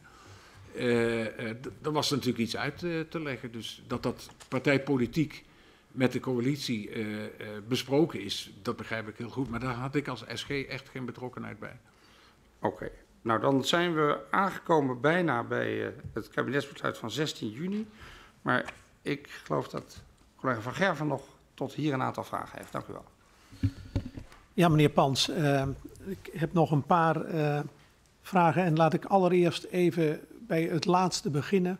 Toch de, de rol van het ministerie van Algemene Zaken en uh, minister Kok. Um, want als ik u goed beluister, zegt u dat de positie van de minister-president was van een van voorzichtigheid. Toch erg bang als er niet getenderd zou worden. Dus als de als er uh, meegegaan zou worden met, uh, laten we zeggen, met de oranje combinatie, dat dat tot problemen zou kunnen leiden. Ja. is dat van doorslaggevend belang geweest? Nee, dat is niet van doorslaggevend belang geweest, want er waren meerdere prominente spelers die grote risico's zagen. Of, en de een, voor de een, zoals, eerder al zei, financieel, de andere juridisch, imagotechnisch. Dat was behoorlijk massief verzet bij een aantal uh, uh, bewindslieden die betrokkenheid hadden bij, de, bij dit dossier. En de minister-president probeert natuurlijk toch uiteindelijk tot, tot, een oplossing te komen waar alle spelers zich in kunnen vinden. Ja. En dat was hier toch eigenlijk wel een hele moeilijke. Maar uh, wat was zijn persoonlijke mening? Wel of niet tenderen? Ja, wat ik uiteindelijk weet is dat hij de, de, de, alle knopen tellend tot de conclusie is gekomen. We kunnen beter de route voortzetten zoals ze met elkaar hadden besloten. En uh, daar hebben allerlei overwegingen een rol, denk ik, in gespeeld. Uh, er zal coalitiepolitiek een rol in hebben gespeeld. Daar zal ook dat imago-technische punt een rol in hebben uh, gespeeld. als financiën tegen was, was dat ook niet prettig. Dus ja, als primus inter pares, wat de minister-president natuurlijk toch een rol is die hij met, die die het prettigst vindt om te spelen als die uiteindelijk voor de keuze wordt geplaatst om veel belangrijke spelers in zijn kabinet tegen zich in het harnas te jagen. Of dat hij uiteindelijk de keuze maakt, jongens, go with the flow. Heeft de minister-president voor de laatste gekozen, denk ik. Waarbij de meeste problemen zich niet zouden voordoen. Nee. Dat is natuurlijk helder. Nee, maar goed, hij heeft zich niet achter, laten we zeggen, minister Netelenbos gesteld. maar de vraag is want u heeft het ook juridisch geschetst. Er waren toch, men had kunnen tenderen of men had het kunnen afblazen. U zegt, het was beide mogelijk geweest. Ja. Maar was het nou zo dat de minister zeg maar, ook als er 90% zekerheid was, en dat is in juridische termen heel hoog, ja. om, om te stoppen met die tender, dat hij dan nog, laten we zeggen, had gekozen van zoek ook nog die 10% uit? Nou, minister-president was wel iemand die als er nog. Kijk, het verhaal was dan. De landsadvocaat zegt dat het kan. Nou, dan zal de ene zal zeggen dat is mooi, dan kunnen we het doen. En de andere dan zal zeggen ja, maar als het toch fout blijkt te gaan, dan krijgt niet de landsadvocaat op zijn donder, maar krijgen wij op ons donder. Dus zolang er onzekerheid in blijft zitten, was toch voor, uh, voor de minister-president een gevoel van ja, allemaal mooi en aardig. Maar als puntje bij paaltje komt, zitten wij op de blaren en niet de landsadvocaat. Uh, en dat opgeteld bij het politieke verzet, wat bij een aantal bewindslieden uh, speelde, heeft hem tot deze keuze gebracht. Wat ik ja. op zichzelf heel goed kan ja. begrijpen. Maar en, het was wel een andere keuze dan wij dachten dat van belang, en, verstandig zou zijn. Goed, hij heeft dus die afweging gemaakt uiteindelijk. En toen is in het gesprek wat u gehad heeft hè, met, met Geerloed, minister Netelenbos en de minister-president, heeft hij de minister-president dus, mevrouw Netelenbos, op andere gedachten gebracht van mevrouw Nederlands, u kunt, uh, uh, u kunt dat niet doorzetten wat u zo graag wil. Uh, we gaan toch tenderen. Hij heeft de minister niet op andere gedachten, maar hij heeft een politieke werkelijkheid geconstateerd dat er in het kabinet geen steun voor deze afwijking van de eerder door het kabinet uitgezette procedure te vinden was. Om een aantal redenen, hoef ik nu niet te herhalen. en ja, dan moet je op een bepaald moment ook zo heeft de minister in ieder geval die, eh, denk ik, die conclusie toen getrokken. Dan moeten we inderdaad weer oppakken waar we gebleven waren. En, maar goed, dan moest de, de minister eh, Netelenbos toch wel eh, comfort geboden worden. Er moest toch wel een alternatief geboden worden. Dan ja. heb ik het over gesprek wat u onder, uh, gehad heeft met z'n vieren. Wat is er toen afgesproken van hoe gaan we dan verder? Nou ja, daar, ik heb daar geen, geen gedetailleerde herinnering aan. Eén ding staat wel vast. Er waren niet veel andere smaken meer.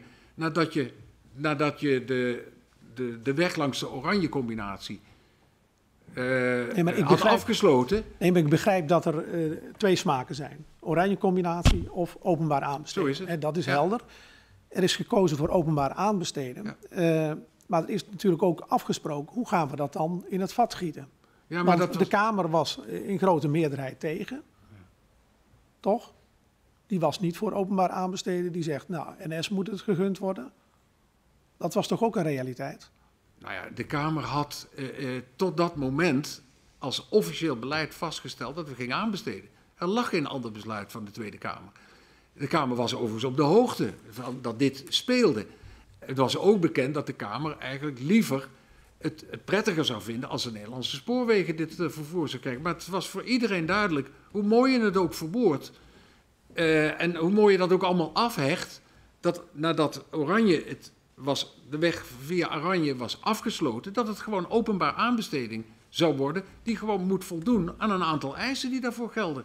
Want dan kom je in het aanbestedingsrecht eh, terecht dan heb je weinig keuzemogelijkheden meer. Goed, we, we gaan straks nog verder praten over eh, hoe dan eh, die aanbesteding verder gaat. Ik wil nog even van u weten, het ondernemingsplan, hè, Zuid. Dat is de oranje combinatie aanbod. Het aanbod van de oranje combinatie. Dat is ook in de ministerraad verspreid. Bij mij weten niet. Eh, volgens mij heeft de ministerraad heeft alleen maar een notitie eh, gehad.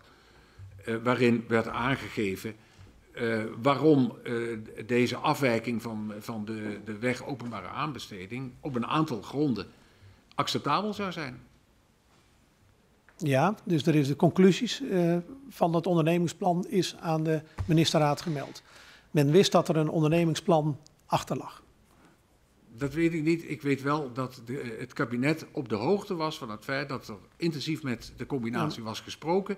En wat de contouren zouden zijn van het bod. En daar heb ik de elementen zo even al van genoemd. Ja. Eh, eh, wat de prijs ongeveer eh, zou zijn. Dat er geen aanvullende eisen meer zouden worden gesteld in de sfeer van garanties, waar eerder wel sprake van was geweest.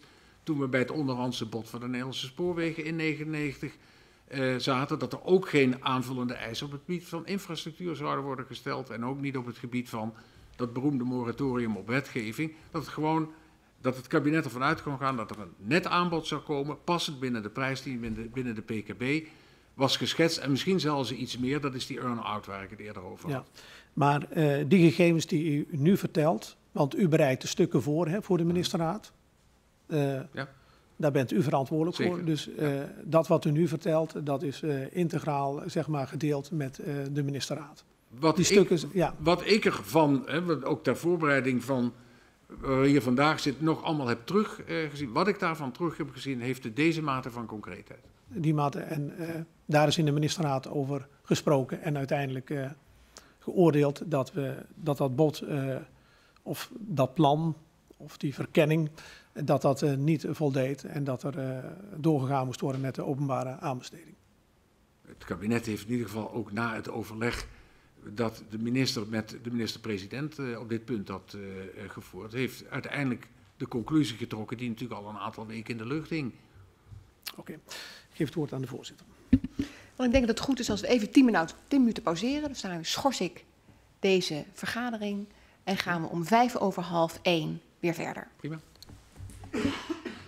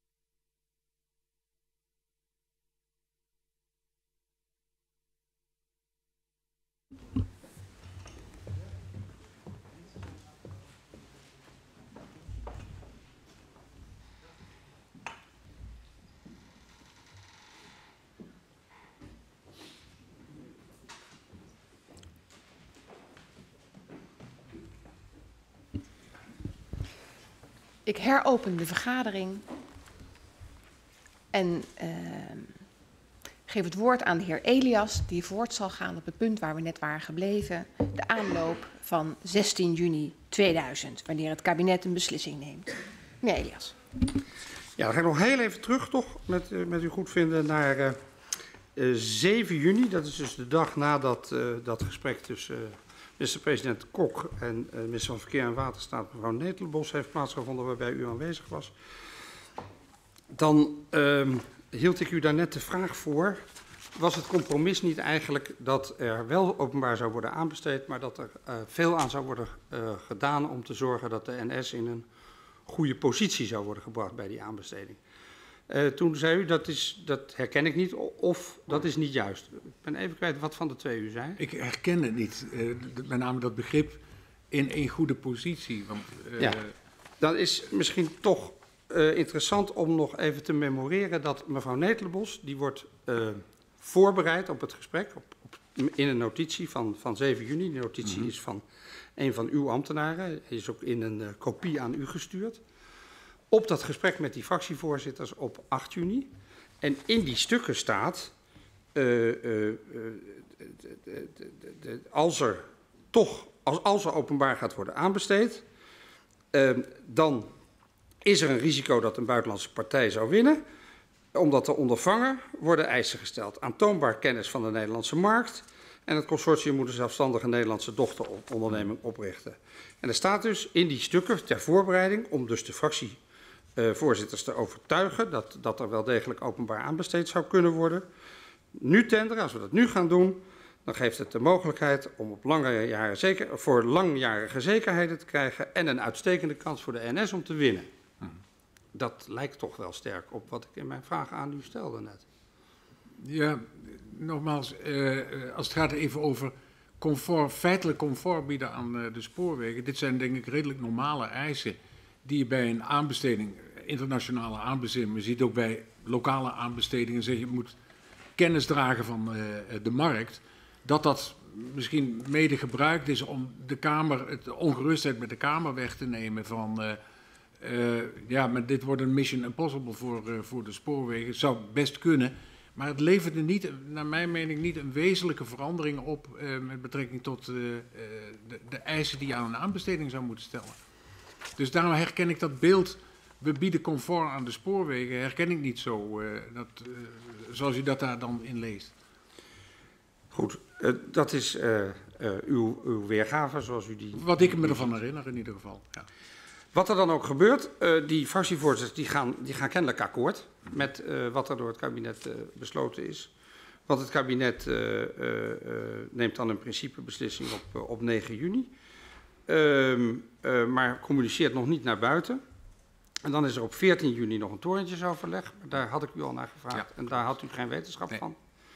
En dan op, op, op, op 16 juni besluit het kabinet inderdaad om die openbare aanbestedingsprocedure voor te zetten. Weet u uh, waarom de Kamer dus ook na dat toontjesoverleg uh, ja, zich, zich gewonnen gaf? Want die had het meest tegengesputterd tot, tot, tot die tijd, omdat de NS in een achterstandspositie zou staan bij het uh, doorgaan met aanbesteden. Nee, maar ik denk dat daar dezelfde overwegen een rol hebben gespeeld. Er zijn een aantal factoren die onderzocht zijn uh, om een andere route op te gaan. Die zijn mislukt ja, dan is er ook weinig anders over dan een openbare aanbesteding.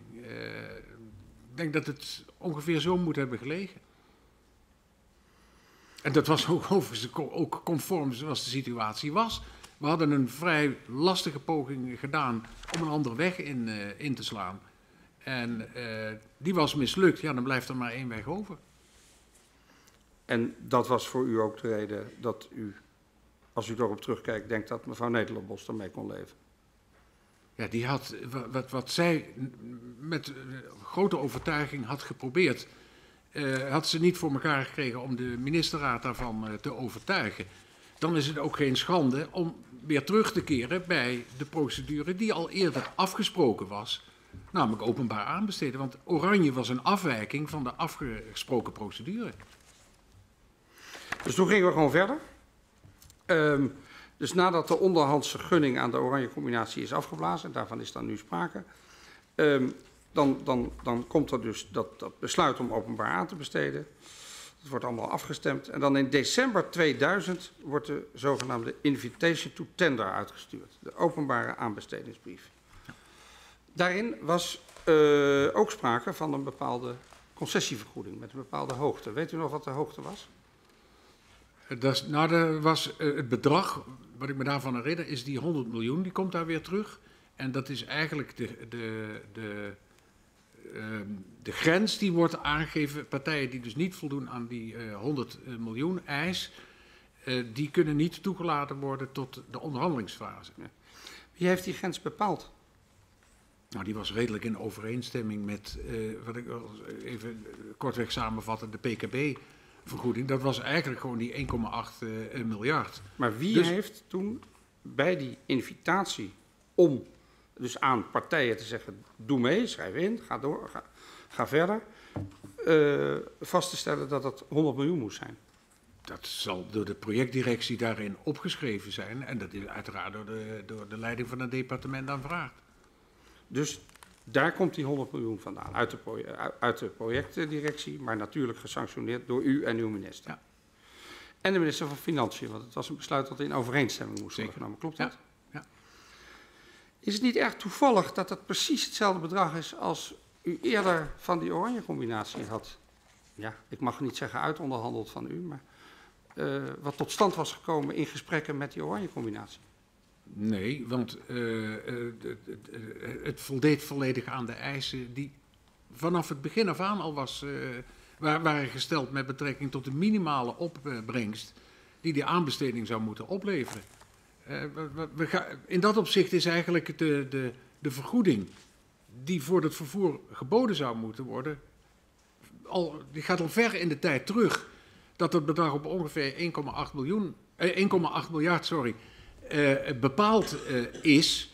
En dat was overigens een bedrag wat als, laat maar zeggen, als een bodem was aangemerkt ten opzichte van ramingen die ook veel hoger uitkwamen. En die is gedurende de hele procedure is die, gehanteerd. Dat is ook de reden waarom toen de oranje combinatie zei, wij komen met, in ieder geval zullen we als we die gelegenheid krijgen, komen met een bod wat voldoet aan de eisen van de PKB. Plus die earn-out. Dat, dat, dat wij wisten dat dat die 100 miljoen zou zijn. Dus um, impliciet zegt u, maar ik vraag u dat dan, dat de ondergrens in die openbare aanbestedingsdocumentatie van 100 miljoen niet was ingegeven door de kennis die u recent daarvoor had nee. verkregen uit die ondershandse gesprekken nee. met, met die oranje combinatie. Nee, zeker niet. Het was eerder omgekeerd. De oranje combinatie wist dat ze in de, die orde van grootte uit moesten komen uh, om te voldoen aan de eisen in de PKB. Dan laat um, in juli 2000 de, de Franse spoorwegmaatschappij SNCF, die laat, en dat is een door de NS gevreesde concurrent, die laat weten niet mee te zullen doen in de openbare aanbesteding, terwijl die Fransen zich eerder juist als geïnteresseerde partij hadden laten registreren. Weet u wat de beweegredenen waren van uh, eh, SNCF om, uh, nee. om, om, dat niet te doen? Nee. Maar een hele grote verrassing was het uiteindelijk toch ook niet, omdat de Fransen wisten dat zij, hoe dan ook, voor het stukje vanaf de Belgische grens tot uh, Parijs, dat zonder overeenstemming met Frankrijk uh, daar überhaupt geen HSL zou rijden. Daar, je was sowieso veroordeeld, net zo goed als in België. Moest je met de Belgen afspraken hebben, die waren er inmiddels. maar moest je ook met de Fransen afspraken maken om het gedeelte van, van die internationale lijn daar te kunnen rijden. Dus kennelijk hebben de spoorwegen toen de inschat, of de, de, de Franse spoorwegen toen de inschatting gemaakt. Waarom zouden we eigenlijk op die lijn in Nederland ook gaan bieden? Ja.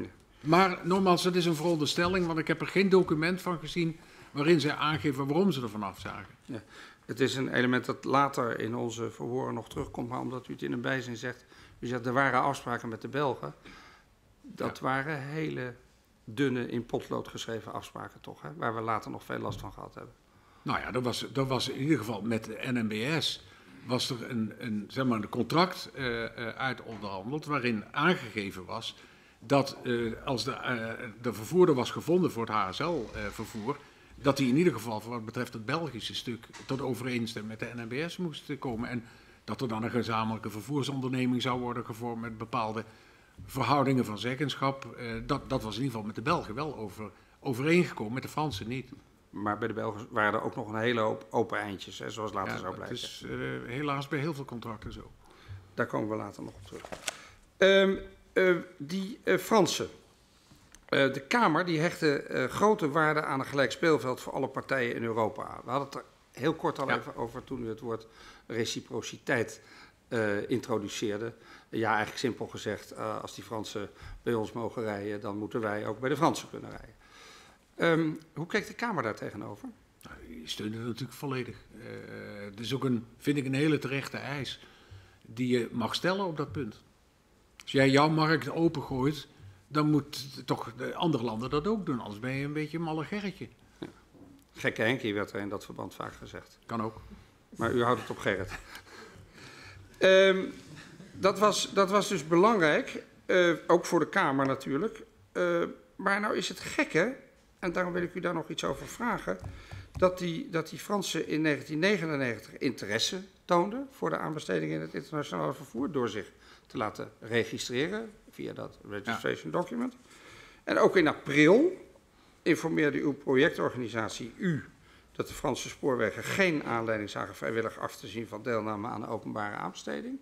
Dat was een hele, zoals dat dan gaat, is interessant om al die stukken te zien, maar dat liep dan allemaal via de ambassade en allerlei mensen bij ingeschakeld.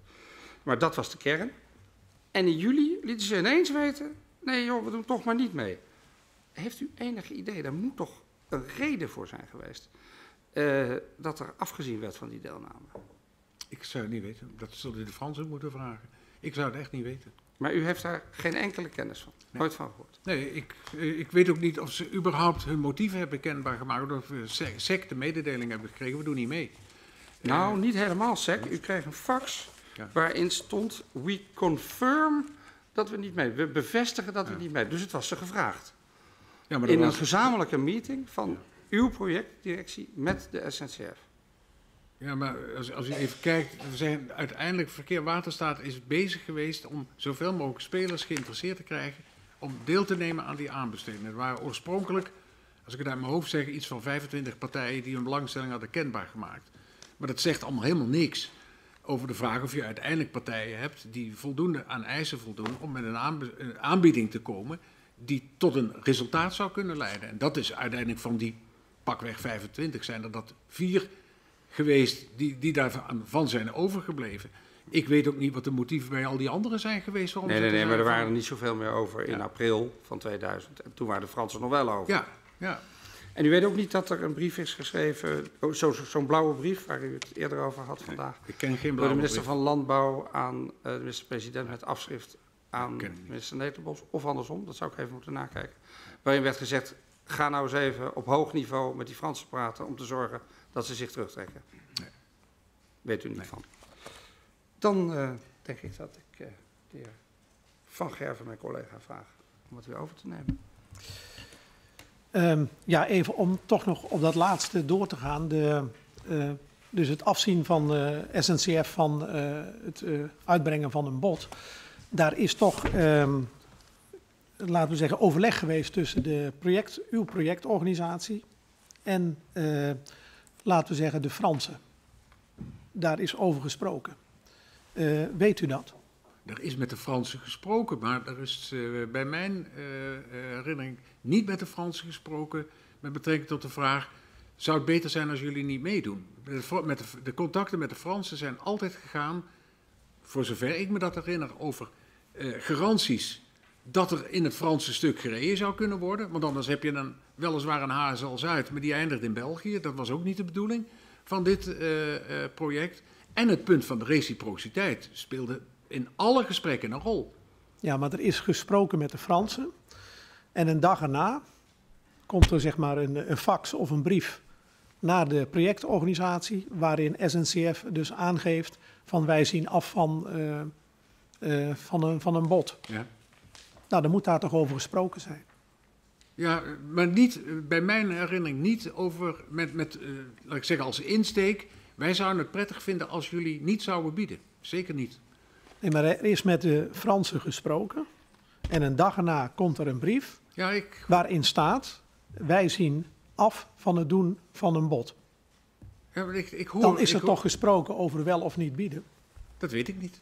Ik ben er niet bij geweest uh, en, en uh, ik kan mij niet herinneren dat wij aan de Fransen nadrukkelijk vanuit Verkeer en Waterstaat de vraag zouden voorleggen: jullie moeten niet bieden. Er waren twee belangrijke onderwerpen die, die steeds een rol speelden. Dat was, ik heb het al genoemd, dat was de reciprociteit. Uh, omdat dat van belang was en dat wij garanties wilden hebben dat er überhaupt in Frankrijk gereden zou kunnen worden. Ja, maar zouden we dan de conclusie mogen trekken dat die discussie er wellicht toe geleid heeft dat dus uh, eh, SNCF heeft afgezien van het doen van een bod. Die discussie omtrent die reciprociteit. Dus dat zou heel goed kunnen, uh, uh, maar dat, ik, ik, ik weet niet wat de, uiteindelijk hun motieven zijn geweest om niet te willen meebieden. In ieder geval was het zo dat zij niet aan de eis van reciprociteit zouden voldoen. Ondanks, hè, los even van het feit dat dat ook juridisch niet af te dwingen was, hebben we eerder vanochtend over gehad. En over garanties met betrekking tot het rijden in Frankrijk waren ook geen afspraken met ze gemaakt. Ja, maar zou het uh, ook kunnen van, uh, want er is ook gesproken over de nadere voorwaarden. Ik kom er ook nog even op terug. Uh, ja. De heer Elias besprak het al met u. Dat er dus in het overleg met de fractievoorzitters en is geschreven dat er aanvullende voorwaarden zijn gesteld.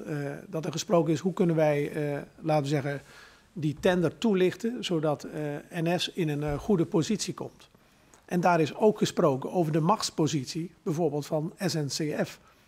Want die reed daar al met, uh, hè, met de Thalys. en dat dat een reden zou kunnen zijn om niet mee te kunnen doen. Nee, dat was, het zou uiteindelijk toch geen weigeringsgrond kunnen zijn. als de Fransen voldoende invulling hadden kunnen geven aan de eisen zoals ze in het document waren opgenomen. Ze hebben zelf, naar mijn, mijn, mijn, naar mijn herinnering, de keuze gemaakt, op welke gronden dan ook, om uiteindelijk niet te gaan voor het als speler in de aanbesteding eh, mee te spelen. Ze hielden overigens een belangrijke troef achter de hand. Want zonder overeenstemming met de Fransen zouden, zouden die treinen vanaf de Belgische grens niet naar Parijs rijden. Dat is, tot op het laatst is dat overeind gebleven. Ja, dus u houdt staande dat uh, er op geen enkele wijze zeg maar, uh, nadere voorwaarden zijn gesteld om uh, NS in een meer voordelige positie te brengen ten opzichte van andere potentiële ik, aanbieders. Ik heb geen enkele herinnering aan dat wij zo'n eis aan de Fransen gesteld uh, hebben. En, dus ik, ik, kan er verder ook helemaal niks over zeggen. Nee, maar hoe kan het dan zijn dat uw medewerker, een van uw ambtenaren, zegt luister, als we het zo opschrijven en de voorwaarden zijn genoemd, hè, er zijn een zevental, achttal hele duidelijke voorwaarden genoemd, dat dan de ambtenaar uh, tot de conclusie komt, uh, NS heeft een uitstekende kans om die tender te winnen. Ja, maar even, even los van wat je daarover op papier schrijft. Gezien de hele voorprocedure die was geweest, was de NS zo goed op de hoogte van het product waarvoor ze gevraagd zouden worden om daar een aanbod voor te doen. Ze wisten de orde grootte, de prijs die ze ervoor zouden moeten eh, bieden. Als er één partij in Europa was die wist, nog los van wat je daar aan schriftelijk comfort over zou willen formuleren, maar wist wat er van ze verlangd was, was het wel de Nederlandse spoorwegen. Dus dat was namelijk de beste ingevoerde speler in dit hele dossier. Dus de overtuiging was, of dat eh, NS het waarschijnlijk zou winnen. Nou, het zou heel vreemd zijn als je met zoveel voorkennis. Je hebt, uh, je hebt tot twee keer toe heb je aanbiedingen. Hè, de ene keer een, een officiële aanbieding kunnen doen bij dat onderhands bod voor het binnenlands vervoer. Vervolgens die hele uitvoerige verkenning, waar de projectdirectie behoorlijk wat energie in had gestoken. om ze zoveel informatie te geven dat dat oranje bod, als de deur zou worden opengezet, inderdaad een goed bod zou zijn. Ja, de spoorwegen wisten echt van de hoed en de rand. Dus, dus ja, los even van wat je wel of niet tegen die Fransen zou zeggen. Die wisten dat er niemand zo goed geïnformeerd was als dat de Nederlandse spoorwegen was. Ja, dus uw conclusie op dat moment was: uh, eh, NS is zo goed, goed ingevoerd, die is zo goed op de hoogte van de situatie in Nederland, dat uh, het winnen van die tender er nauwelijks kan ontgaan. Als je, als je dan de tender niet wint, dan heb je prutswerk geleverd. Dan heb je, dat was ja. de. En nou, dat is overgebracht aan de fractievoorzitters of aan de, de politiek. Van om ze over de streep te trekken om toch mee te gaan in die openbare aanbesteding. Zoals ik al eerder zei, ik ben niet bij dat overleg geweest, maar ik kan me heel goed voorstellen dat het ongeveer zo moet zijn gegaan. Want het was ook volledig zoals het was. Uh, de spoorwegen wisten van de hoed en de rand. Het zou wel heel gek zijn als die, ondanks het feit dat het nu toch een openbare aanbesteding zou worden, met alle risico's die van dien, die zaten er natuurlijk aan, dat ze dit zouden verliezen. Goed, we, er wordt getenderd, er wordt uh, aanbesteed en er worden drie uh, biedingen gedaan. Drie partijen die brengen een bod uit. En wat opvalt is dat het uh, bod van NS er torenhoog boven uitsteekt. En wat vond u van dat bod van de NS-KLM ten opzichte van de twee andere die geboden hebben? Veel geld. Was u veel geld, inderdaad. Hoe hoog was het uh, trouwens? De, het bod wat gedaan 178 miljoen. 178 miljoen. En hoe hoog was het uh, bod van de andere twee die geboden hebben? Um, er was er eentje die zat ook aan die 100, uh, die, die haalde ook die 100 miljoen eis. Dat was DB Arriva, maar die voldeden gewoon niet aan de eisen die gesteld werden om het überhaupt tot een, een, een formeel acceptabel bod eh, te maken. Er was er één partij, dat was CGA eh, Connection, die zaten op orde grootte 61 miljoen geloof ik. Dus de verschillen waren heel groot. Dus uh, ik herhaal het even. Dus de CGEA Connection 61 miljoen. Ja. Deutsche Bahn Arriva rond de 100 miljoen. Maar, niet, uh, maar voldeden niet aan alle voorwaarden. Was geen bindend bod, begrijp ik. Ja. En uh, NS met 178 miljoen. Ja. Dus NS bouwt drie keer meer dan CGEA Connection. Dat is zo. Dat klopt, dat is juist. Um, dus u vond het veel. Ja, het was veel geld. Maar kunt u nog wat uh, associaties uh, weergeven die het bij u opriep? Nou ja, kijk, als je als minimum in de uh, invitation to tender opneemt 100 miljoen en anders gaan we, we kwalificeer je niet voor onderhandelingen. Dan moet je wachten totdat de winnaar is afgevallen. Uh, en die 100 miljoen, wat die een redelijk constante was vanaf de PKB. Uh, en die oorspronkelijk ge geacht werd 50% van de investering uh, op te brengen. Later werd dat, doordat die investering hoger werd, werd dat percentage natuurlijk lager. maar dat dit zo ver daarvan afwijkt, dan krijg, bekruip je ook wel even het gevoel van, uh, hebben wij nou misschien toch een fout gemaakt? Dat wij dat zo laag hebben ingeschat. En waarom dat in ieder geval bij, binnen verkeer en waterstaat dan wel als een, als een meer een professionele punt opkwam van, er is toch gewoon professioneel nagedacht over wat, wat, wat, wat, is een redelijke prijs voor dit vervoer in de wetenschap dat daar vanuit VNW vaak nog wel dispuut met, met financiën was. Die dacht dat er veel meer uit zou komen dat je dan zoiets hebt van, hebben die lui van financiën dan misschien toch gelijk gekregen? En zaten wij aan de te lage kant. Dus dat, is, dat voelt niet prettig voor professionals die denken dat ze het werk goed hebben eh, gedaan. Maar het algemene gevoel was wel, dit is wel heel veel geld. Veel geld. Wat en is hier gebeurd? Ja, wat is hier gebeurd? En u was uh, kennelijk verrast door het ja, enorm hoge zonder bod. Ja. Zonder meer. Um, had u nu, of, uh, of nee, laat ik even vragen. Uh, wat opvalt is dat Schiphol er niet meer bij zit. Uh, dus bij dat, die zat nog wel bij de oranje combinatie. Uh, waarom zijn die afgevallen? Wat ik daarvan uh, herinner is dat uiteindelijk de Schiphol zelf, dus ik geloof zelfs de Raad van Commissarissen, tot de conclusie was gekomen dat ze dat niet moesten doen. En dat heeft volgens mij minder met die trein van doen als wel.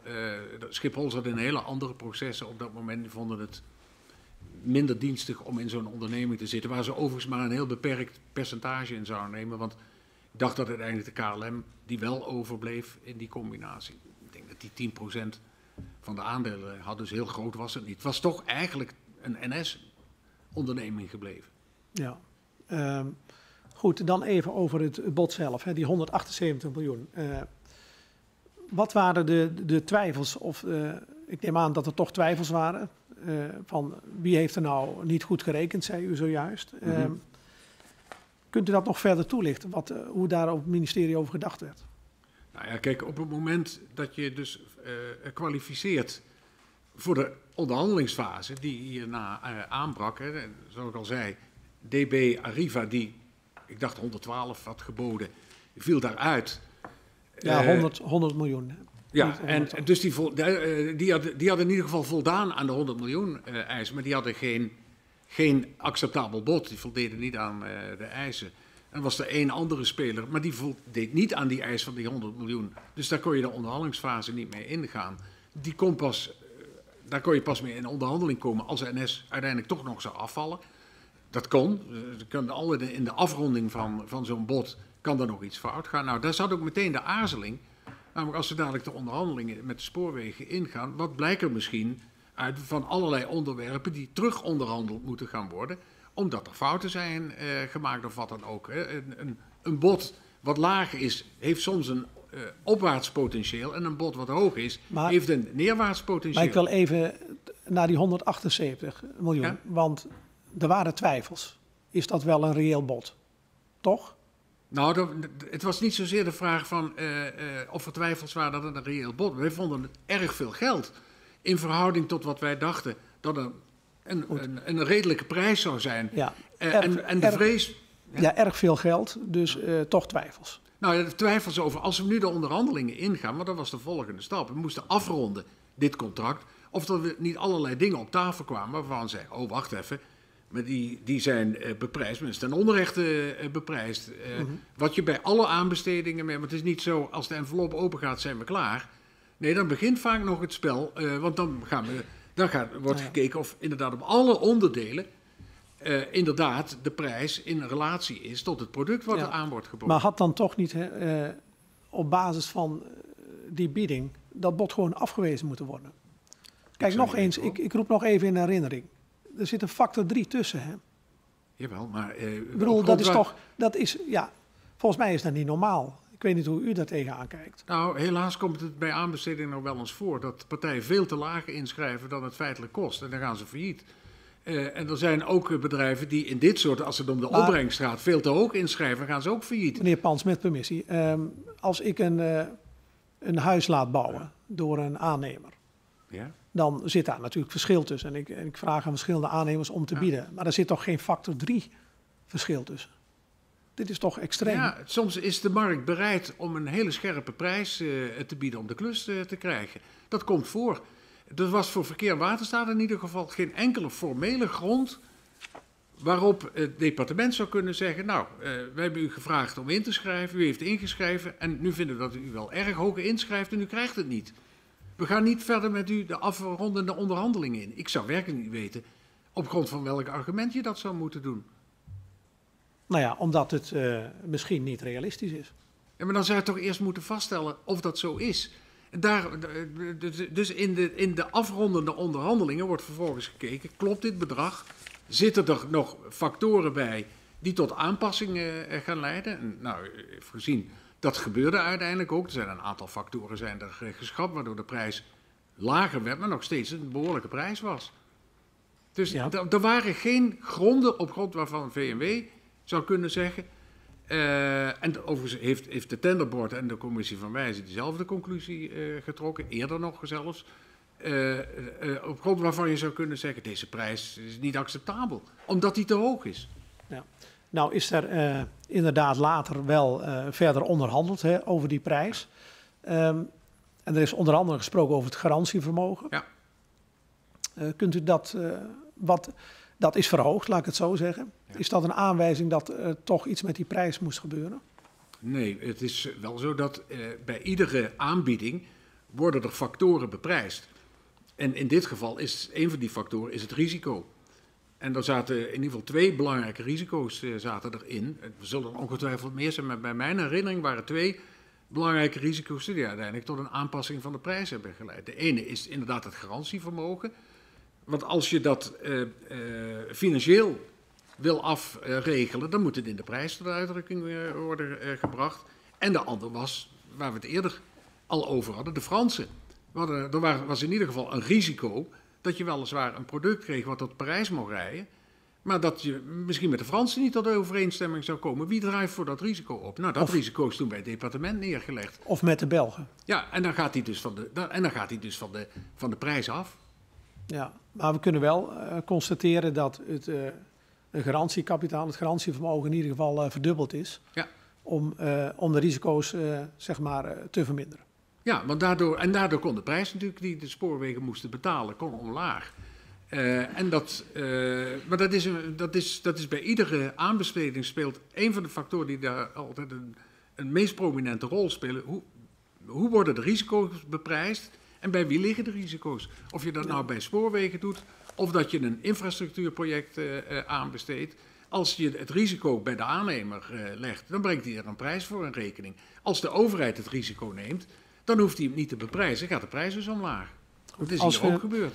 Ehm, u had het over risico's. Ik wil nu ook even naar de risico's van het ministerie. Mhm. Want die concessie, die opbrengst, die maakt een onderdeel uit van de begroting. Van het ministerie van Verkeer en Waterstaat toen. Ja, eh, eh, Die, die vult het infrastructuurfonds het, op, ja. op basis waarvan.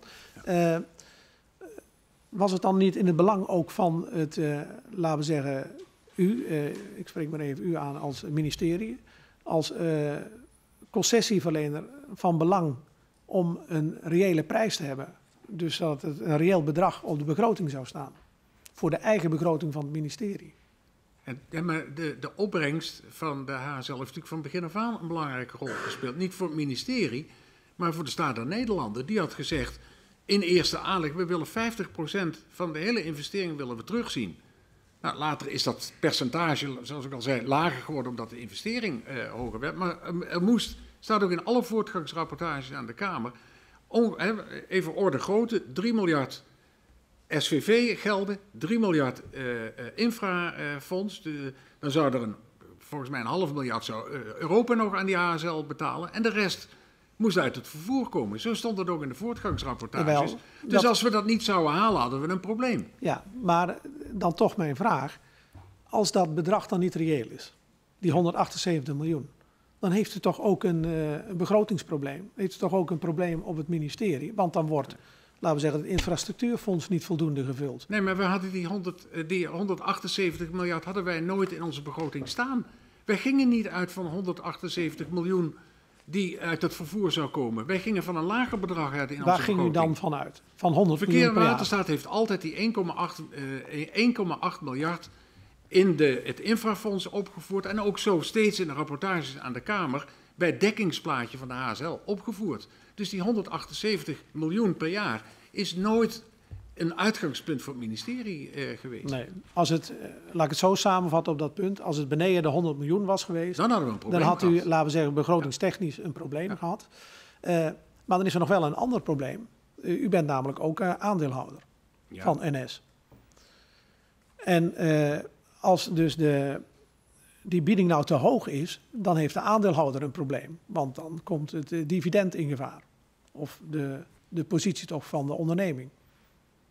Ja, ik begrijp eh, waarom u die vraag stelt. Eh, als ik hem even terugzet in de tijd, werd de rol van aandeelhouder bij NS, maar hetzelfde gold ook bij KLM, waar het Rijk ook aandeelhouder was, gold ook voor Schiphol. Die rol van aandeelhouder werd niet gebruikt op een manier die we tegenwoordig vrij normaal vinden. Hè, dat je niet alleen aandelen hebt, maar dat je dat aandeelhouderschap ook actief eh, eh, inzet eh, als Rijksoverheid. Nou, op, op allerlei manieren zie je dat gebeuren. Dat was in die jaren niet het geval. De, de Rijksoverheid zorgde ervoor dat in al die bedrijven dat er een aantal commissarissen zaten. Die, noem het maar even, overheidscommissaris waren. Dus die waren echt specifiek aangewezen vanuit de overheid. En dat waren de vooruitgeschoven posten om hun werk te doen. Langs de lijn van het aandeelhouderschap werd in die jaren in ieder geval niet gestuurd op, eh, laat ik maar zeggen, de zakelijke manier waarop die bedrijven zich eh, eh, in de markt be- begaven. Dat vond, vond, men, vond men, verkeer en waterstaat, maar ik denk in Nederland in zijn algemeenheid, vond, vond men dat toen nog dan. Tegenwoordig spreken we over een veel actiever aandeelhouderschap dan Ja. waar toen sprake van was. Dus we hebben ook nooit overwogen, wat soms wel eens, lees je ook wel eens dat mensen zeggen, waarom hebben jullie dat niet gebruikt, dat aandeelhouderschap, om dat bot een beetje eh, mee te sturen. Dat is geen moment in overweging geweest. Dat was toen eh, niet aan de orde. En dat was eigenlijk louter een papieren iets eigenlijk, dat aandeelhouderschap.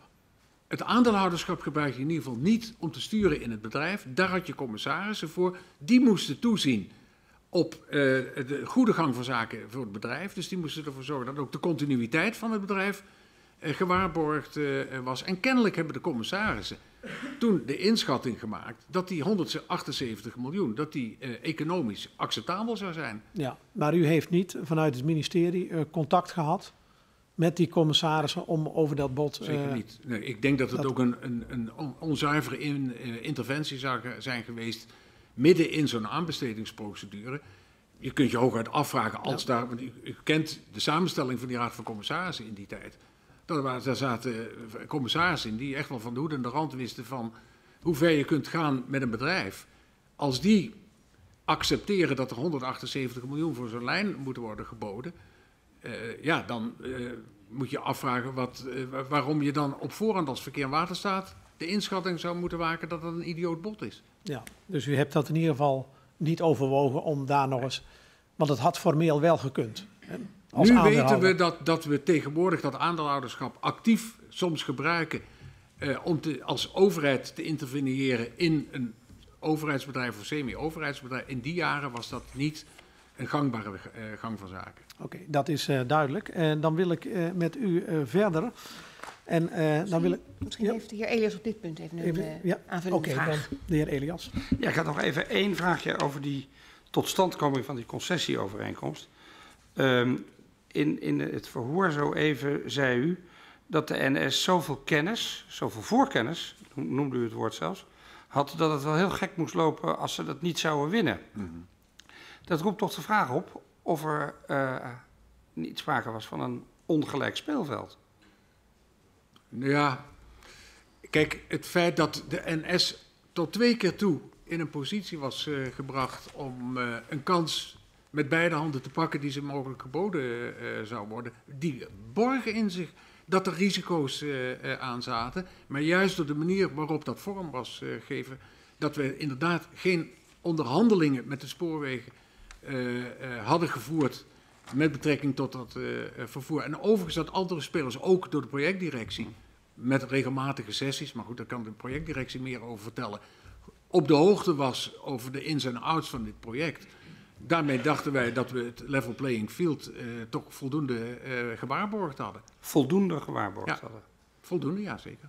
En het is niet zo dat de facto binnen die formulering die u nu gebruikt, de NS toch een voorsprong had. Ja, maar NS had per definitie een voor. Dat bedrijf rijdt al. Ja. Hoe lang reizen ze al in Nederland? Hè? Ze Nee, maar ik al- bedoel een voorsprong had vanuit de informatie die zij specifiek, zij alleen, vanuit Verkeer en Waterstaat konden hebben, gelet op de eerdere contacten bij de Oranje Combinatie. Nou, Ik denk dat er geen enkele van de partijen zo intensief. Nou, even los van de vraag of wij ze die gelegenheid hadden geboden. Maar het simpele feit dat zij. dat dit hun, hun thuismarkt was. Zoveel tijd en energie erin hadden gestoken. als de Nederlandse spoorweg. gaf ze per definitie een voorsprong. Nee, maar ik bedoel juist niet los van die vraag. Eh, Verkeer en Waterstaat, uw departement, uw mensen, de projectdirectie, gaven inzicht aan de NS in tal van dingen die op dat moment van de aanbestedingsprocedure bij andere partijen die meeboden niet bekend waren. Die, die partijen zouden al die informatie ook eh, eh, krijgen op het moment dat zij daadwerkelijk gingen bieden. Op die HSL, waar, ik nu steeds, waar we nu steeds over spreken, waren de fasen die daaraan vooraf waren gegaan. Waarin de spoorwegen overigens in transparantie de gelegenheid hebben gekregen om er al eerder naar te kijken. Dank u wel. De heer Van Gerven. Ja, dan eh, kom ik op het punt van de, zoals dat met een duur woord heet, eh, tariefrestrictie. Dat wil zeggen het beperken van de tarieven op, het, eh, op, het hoge snelheid, op de hoge snelheidslijn. En, eh, want er wordt dus, en dan heb ik het over eind 2001, dan wordt er dus onderhandeld met NS over eh, ja, het uiteindelijke concessieovereenkomst. En daar speelt die tariefrestrictie restrictie een belangrijke rol. Ehm, en daar staat een bepaling hè, in het uiteindelijke concessieovereenkomst, een bepaling dat er een korting van 47 miljoen zal komen als de overheid besluit voor 1 september 2002 tot die tariefbeperking over te gaan, om dat in de voorwaarden op te nemen. Ja. Eh, hoe is dat, eh, ja, laat ik eerst zeggen, wat vond u daarvan? Dat die bepaling erin is gekomen. Nou, het, het werd al heel snel duidelijk dat, eh, vreemd genoeg, de Nederlandse spoorwegen, of de combinatie dan, zeer veel waarde hechten aan de opname van zo'n artikel in de overeenkomst. En eh, in zoverre eh, doet dat wat wonderlijk aan, omdat je niet vaak meemaakt dat iemand die een klus binnenhaalt, vervolgens zei: Ik wil per se in het contract opgenomen zien dat jij beperkingen aan de hoogte van mijn tarief kunt eh, bepalen. Meestal is het omgekeerd. Dat een bedrijf zegt: Mag ik dat zelf bepalen? Nee, de spoorwegen zeiden: Wij willen per se zo'n artikel uh, in, uh, in de overeenkomst opgenomen zien. en nou, daar, daar, is heel gedurende enige tijd is daar nogal over heen en weer gesproken. Het was duidelijk dat zowel minister Nederlandbos als ook de minister van Financiën daar niks voor voelden. Omdat aan het, het, het introduceren van een tariefrestrictie een lagere opbrengst voor de staat eh, verbonden zou zijn. Inderdaad in de orde mhm. van grootte van het bedrag wat u net noemt. Uh, spoorwegen uh, hechten daar echt zeer veel uh, waarde aan. Ze wilden ook die termijn in het contract opgenomen zien. En dat begrijp ik weer wel. Omdat als je gebruik zou maken van zo'n tariefrestrictie, zou die natuurlijk, als het, als tarief omlaag gaat, kijk, meer reizigers is de inschatting. Nou, meer reizigers is het aanschaffen van meer treinen. Want anders moeten die mensen staan in die dure trein. Dus daar moest je wel op tijd mee zijn. Dus wilde men daar spoedig duidelijkheid over hebben. En om uiteindelijk de zaak afgewikkeld te hebben, heeft de, de, de, projectdirecteur heeft destijds de minister, wetende overigens dat ze er niet echt voor voel, voelde, gezegd van nou, ik zou het toch maar opnemen in de wetenschap dat het een, uh, een kanbepaling zou worden. Hè? Dus de, de overheid kon er gebruik van maken met de consequentie van die 47 miljoen. Maar, even, maar kon het ook niet doen. Ja, uh, het was dus initiatief, op initiatief van NS hè, dat dat er is ingekomen. Niet, uh, het, het, kabinet had daar, of het Rijk of uw ministerie had daar geen behoefte aan. Ehm, wist de minister daarvan? Hoe is dat? Jazeker, de minister is daarvan op de hoogte gesteld dat de NS dat wilde. Het was ook duidelijk voor de projectdirectie dat de minister dit liever niet wilde. En uiteindelijk uh, is het in het contract opgenomen met, met wetenschap van de minister, want ze moesten uiteindelijk dat contract ook tekenen. maar wel met nadrukkelijk de aankondiging, we gaan er geen gebruik van maken. Maar even om het heel scherp te krijgen, was dat voor, laten we zeggen, voordat dat concept gereed kwam? Is er toen al overleg geweest met de minister, dus met minister Netelenbos, van luister, NS wil die bepaling erin, wat, wat gaan we doen? Nou, ik, de, precieze tijdloop ken ik er niet van. Ik weet wel dat, dat het geluid van de spoorwegen, of de combinatie moet ik steeds zeggen, dat, dat zij graag die tariefrestrictie in het contract opgenomen, wil, opgenomen wilden zien. Dat, ze dat, dat dat gecommuniceerd is, ook in de richting van de minister. Die wilde dat niet. De minister van Financiën wilde dat niet. Niettemin, de spoorwegen hebben dat toch met enige, met enige nadruk blijven bepleiten. En uiteindelijk is gezegd, nou dan nemen we het op. Want anders dan blijven we, eh, blijft dat, de afhandeling van dit contract blijft eindeloos hangen. Ja. En toen hebben, uh, heeft de minister gezegd, nou dan, dan oké, dan teken ik het, maar wel met de aantekening, ik ga er geen gebruik van maken. Ja. En dat zal ik de spoorwegen ook laten weten. Nou zegt ja, is eigenlijk toch wel vreemd. Nou, zo'n bedrijf krijgt dat, uh, en die zegt, ja, wij willen die treinen er laten rijden. Ja.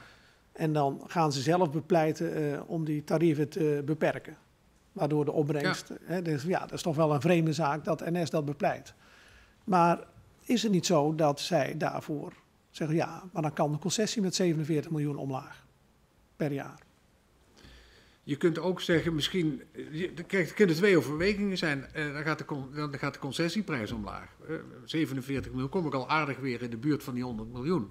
Misschien is ook een overweging geweest. Het, we, maken ons toch wel wat zorgen over de vraag of we wel voldoende reizigers gaan trekken. Dus het zou beter zijn dat we een product hebben waardoor zijn prijs aantrekkelijker wordt voor de reizigers, zodat er meer reizigers zullen komen. Met wel de consequentie dat je dan meer materieel moest bestellen, dus je moest het wel tijdig weten. Nee, maar even over die 47 miljoen. Is het nou toch niet aannemelijk dat er, NS er veel aan gelegen was om die concessievergoeding omlaag te krijgen? En dat ze daarom zeg maar, die tariefrestrictie hebben ingebracht? Met natuurlijk verdedigbare argumenten. Je kunt op zich zeggen, van ja, dan, ja. dan hebben we meer reizigers enzovoorts. Nou, die, die, dat kun je aanhangen. Maar het is natuurlijk toch vreemd voor een bedrijf wat in, wat, wat in een openbare aanbesteding die tender heeft eh, gewonnen, dat die met dat daarmee komt. Ja. Is het nou niet zo dat toch die 47 miljoen en dan meer comfort zou hebben geboden? Dat dat erachter zit? Ja, luister, uh, 101 miljoen is natuurlijk altijd prettiger voor NS dan 148 miljoen. Dus dat kan ik me heel goed voorstellen. Maar uh, of dit de enige overweging is geweest, dat weet ik niet.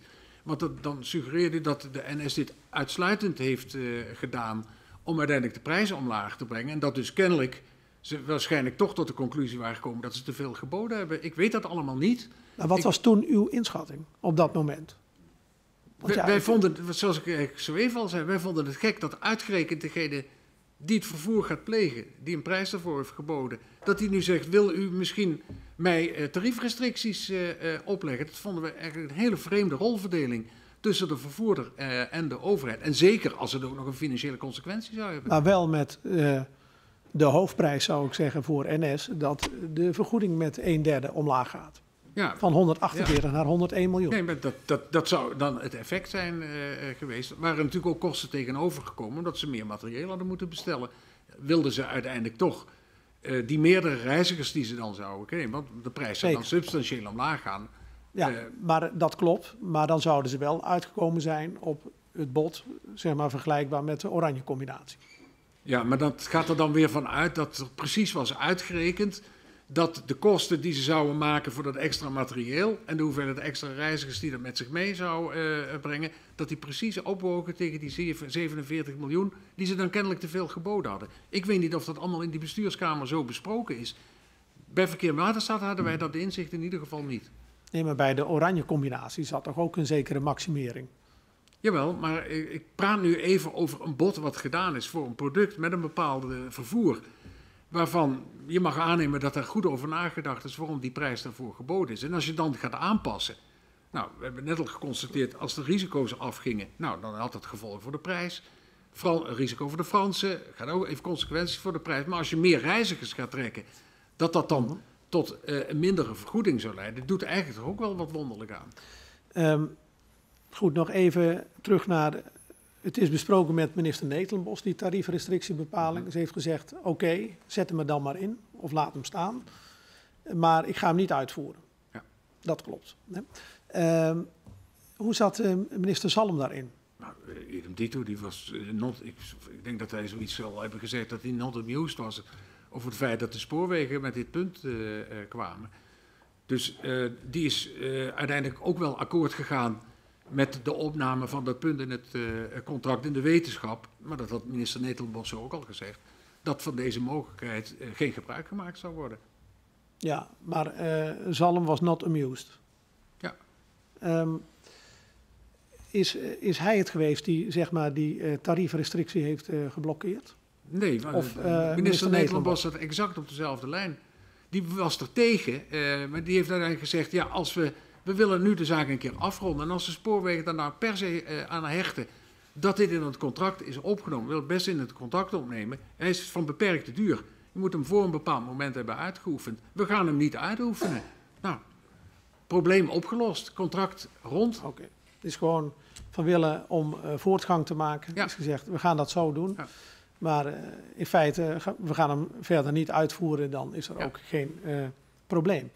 Um, hij is niet geëffectueerd. Maar als we nou terugkijken naar die. Uh, stel dat die tariefrestrictiebepaling wel was doorgevoerd. Ja. En de vergoeding was met 47 miljoen uh, verlaagd. Wat was er dan gebeurd? Nou, dan mag je aannemen dat er meer reizigers waren komen, meer treinen en een lagere opbrengst. Ja, meer kan ik er niet van maken. Maar zou het dan anders zijn gelopen met het tot stand komen van uh, zeg maar het vervoer over de hoge snelheidslijn? Nou, nu, nu stelt u mij een vraag over een fase die daarna is gekomen. En dan wordt het speculatief. En ik denk dat ik daar maar beter niet op kan gaan reageren, want dan moet je een oordeel gaan uitspreken over de stappen die daarna allemaal zijn uh, gezet. En in welke mate die, daar een kausaal verband uh, te leggen is met de episode die we nu aan het bespreken zijn. Ik zou die nog niet op voorhand zo leggen. Dus u zegt, uh, uh, ik weet niet of daar een verband tussen zit.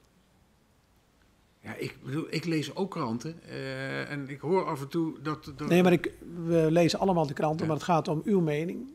Hoe u of uw ministerie erin zat, gewoon en nu ook terugkijkend, van als dat toch was doorgevoerd, die tariefrestrictiebepaling had het dan uh, anders kunnen lopen?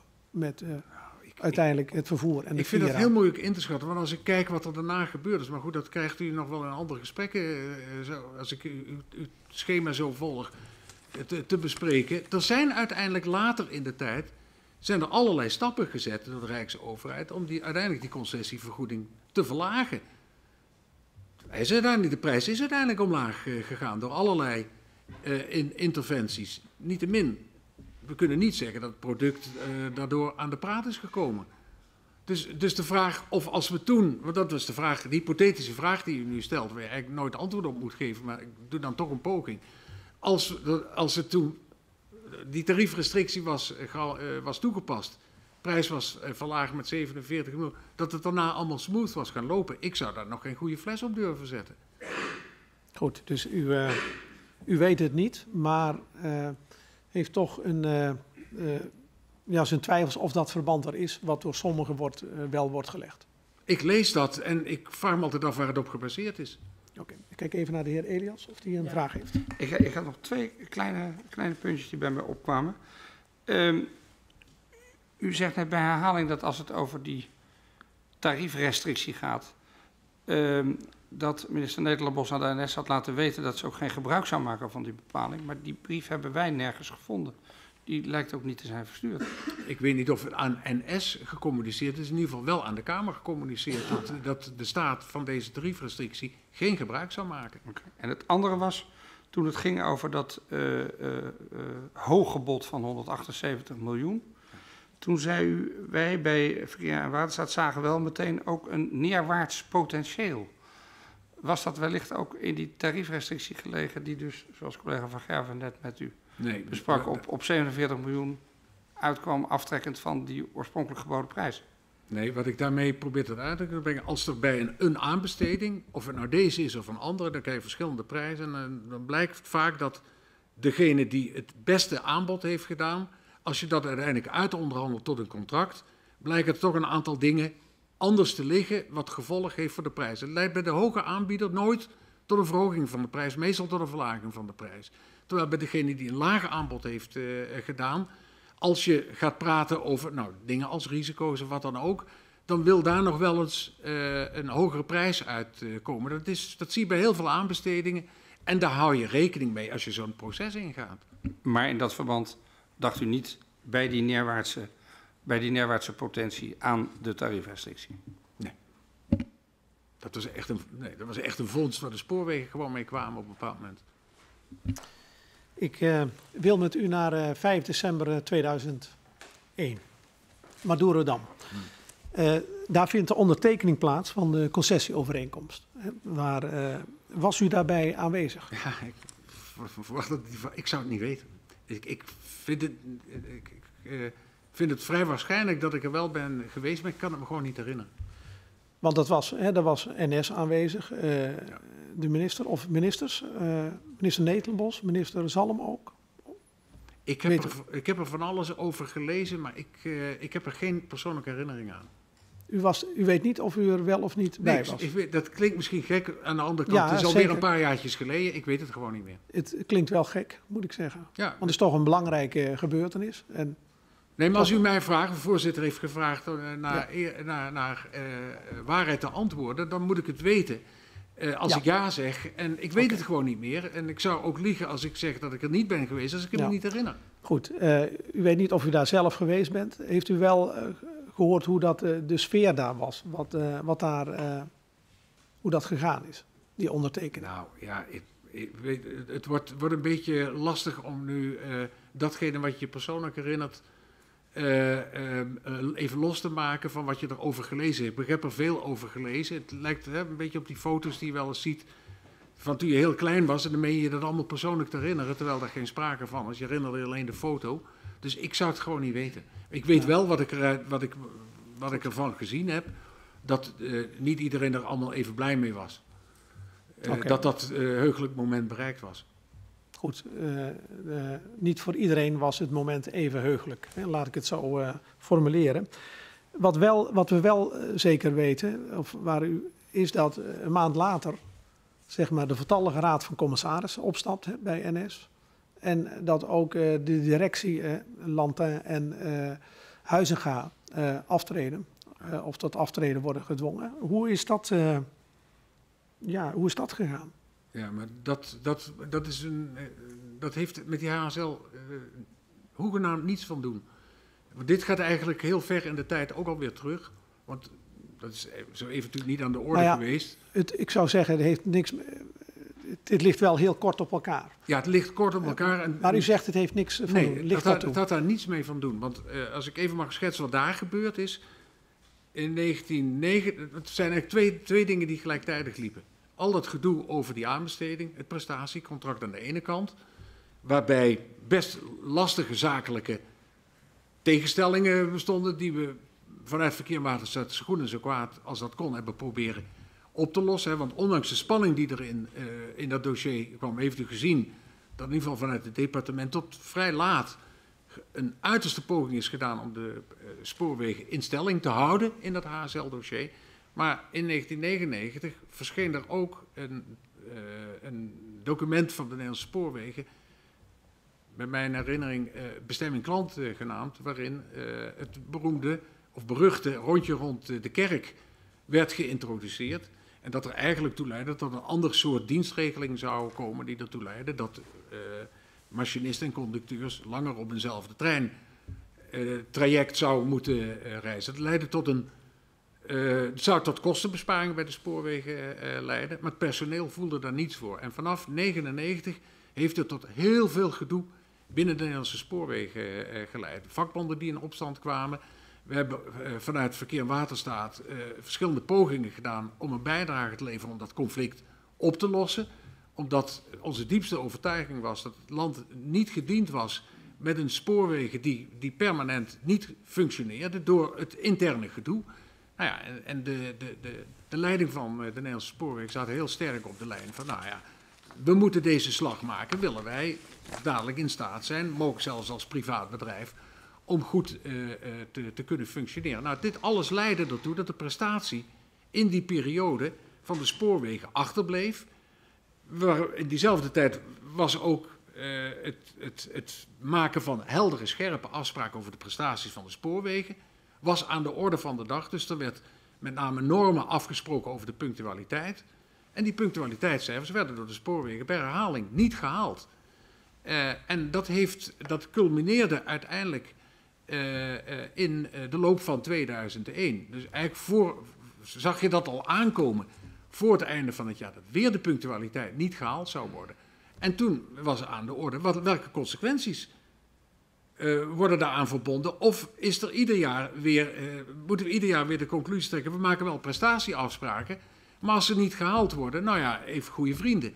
En daarvan is toen eh, in december, dus voordat de officiële cijfers op tafel kwamen, maar we wisten eigenlijk vanuit het departement via de verkeersleiding, want die hadden ons dat aangereikt, dat opnieuw de punctualiteitscijfers niet gehaald zouden worden, is aan de spoorwegen in eerste aanleg aan de Raad van Commissarissen duidelijk gemaakt. Ja, dat zal toch, neem ik aan, bij jullie deze keer consequenties hebben. Nou, de, de Raad van Commissarissen vond dat dat niet aan de orde was, omdat ze vonden dat de, de onderscheiding of overschrijding, het is hoe het maar noemt, van die punctualiteitscijfers dusdanig gering waren dat je dat eigenlijk eerder tot afrondingsverschillen moest eh, eh, bestempelen dan dat je er consequenties aan zou kunnen verbinden. En toen is vanuit eh, minister Nederlandbos nadrukkelijk gecommuniceerd aan de Raad van Commissarissen. Nou, ik denk dat jullie er nu consequenties aan moeten verbinden. En dat zal betekenen in het management van, eh, van de Nederlandse spoorwegen. Nou, de Raad van Commissarissen heeft toen gezegd, dat doen wij niet.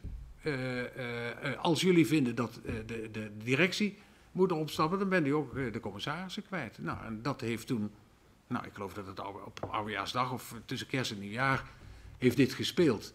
Toen is vanuit de Raad van Commissarissen van NS gezegd, nou, dan stappen wij op.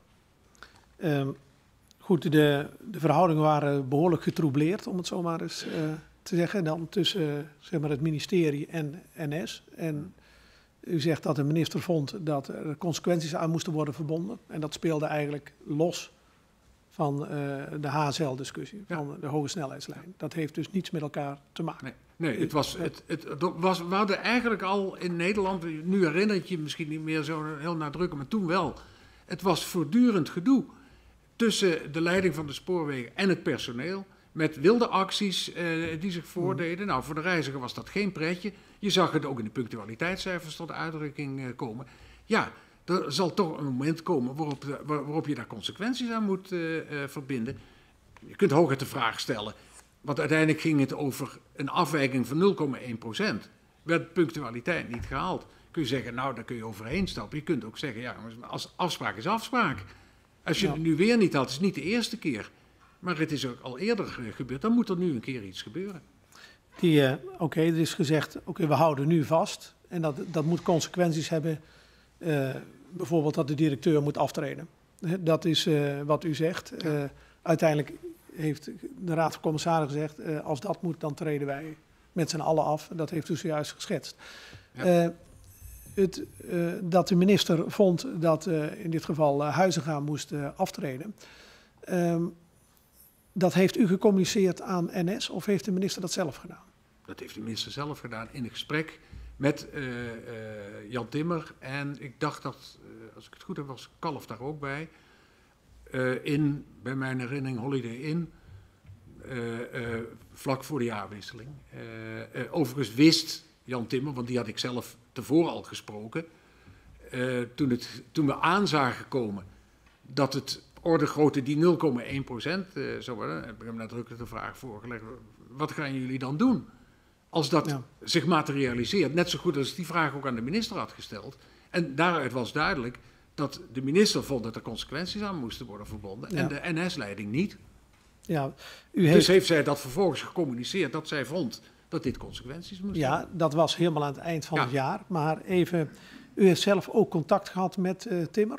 Ik heb, Jan Timmer heb ik toen eh, het scenario geschetst, voordat het zich feitelijk materialiseerde. Wat gaan jullie doen als dit toch in, in zekere zin eh, rampscenario, het, we, halen het niet op 0,1 procent, zich nu ook nog gaat voordoen? Ja. En eh, wanneer heeft u met eh, de heer Timmer daarover gesproken? Nou, dat is denk ik, ja, dat is misschien een, één, twee maanden daarvoor gebeurd. Niet veel langer, want toen hadden we ook nog niet echt een, eh, een aanwijzing eh, eh, hoe, hoe hoog het zou Ja. kunnen uit gaan pakken. Maar u had, want het, het, let, het komt wel spits, was het voor 5 december 2001 dat u met Timmer heeft gesproken van what if? Dat weet ik niet. Dat- u zegt 1 à 2 maanden. Ja, maar ik, ik, ik weet niet meer, ik zou echt niet meer weten op welk moment dat heeft plaatsgevonden. Ik weet wel dat ik, dat het denk, ik van belang vond te weten of als dit, je zou zeggen, eh, scenario van 0,1 procent, je bedenkt het haast niet, als er zich dat zou voordoen, wat dus de spelers, Ja. minister en spoorwegen daar nou mee zouden gaan doen. Goed. Dat wil je van tevoren weten, want op het moment dat het Ja. zich aandient, moet je maatregelen treffen. Zeker, maar goed, u zegt u heeft met Timmer gesproken. Ja. Eén keer, meerdere malen? Ik weet dat niet. maar Ik heb minimaal één keer met hem erover gesproken. Minimaal één keer. Eh, maar als we even vasthouden, 1 à 2 maanden van tevoren, Ja. dan is dat aannemelijk. Ja, of eigenlijk ik- zeker dat het voor 5 december was, voordat de conceptovereenkomst of de concessieovereenkomst eh, getekend werd. Ik moet zeggen, ik zou agendas erbij moeten hebben, want u vraagt het nu heel nauwkeurig. Ik heb die, ik heb die, die, die, die, die, eh, die tijdlijn heb ik hier niet. Ik heb hem niet. En als u er een heel precieze antwoord op eh, eh, wil hebben, hè, was het nou voor of was het vlak na 5 december, dan moet ik hem ook naar eer en geweten kunnen beantwoorden. Dat weet ik niet. Nee. Ik weet in ieder geval wel dat ik ruim voordat dat gesprek vlak voor de jaarwisseling plaatsvond, dat beide spelers, Netelenbos en eh, Timmer, op de hoogte waren van eh, welke consequenties verbonden zouden worden aan eh, het niet halen van de punctualiteit. Dus de, naar, voor zover u zich dat kunt herinneren, was dat 1 à 2 maanden voordat minister Nederlands zelf met Kalf en Timmer heeft gesproken. In, Bij uw- mijn herinnering. Ja. Ja. in uw Ja, herinnering. maar als u, als u zou zeggen, noem maar even de datum, dan weet ik hem niet. Oké, goed, dan eh, houden we dat even vast. Ik kijk naar de voorzitter. We komen tot een afronding van ons verhoor. Even zo aan het eind. U zegt, eh, er is een grote wissel geweest bij de spoorwegen. Er komen uiteindelijk topambtenaren in de leiding van de spoorwegen. Hoe past dat nou eigenlijk bij waar we mee begonnen? Die gedachte, we gaan privatiseren, we marktwerking. Het loopt allemaal niet lekker. Ja. En tada, de top van de ambtenaren geeft leiding aan de NS. Hoe Nou, geef ik dat nou niet zien? leiding aan de NS, maar ik ben met u eens. Het was een heel vreemde, het was een heel vreemd besluit. Maar we konden eigenlijk op dat moment weinig anders. Je moet zich voorstellen, op het moment dat de spoorwegen, eh, Raad van Commissarissen en de Raad van Bestuur zeggen we stappen nu op, dan moet er leiding zijn in het bedrijf. Het bedrijf is te belangrijk om op een bepaald moment stuurloos achter te laten. Dus er is toen eh, over twee dingen nagedacht. Als inderdaad de Raad van Bestuur opstapt, althans de voorzitter van de Raad van Bestuur, want de verwachting was dat het zich zou beperken tot eh, Huizinga.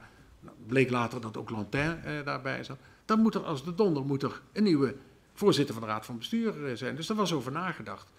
Op het moment dat het gesprek plaatsvond en rekening moest worden gehouden, want dat wisten we uit de verkenning die had plaatsgevonden, het gesprek met Timmer, dat hij inderdaad zelf zou komen met de mededeling, nou, dan vertrekt niet alleen Huizinga, maar ook de Raad van Commissarissen. Dan moesten we, moesten we gewoon een voorzitter van de Raad van Bestuur hebben. Dus da- daar hadden we over nagedacht. En datzelfde gold uiteraard voor de Raad van Commissarissen.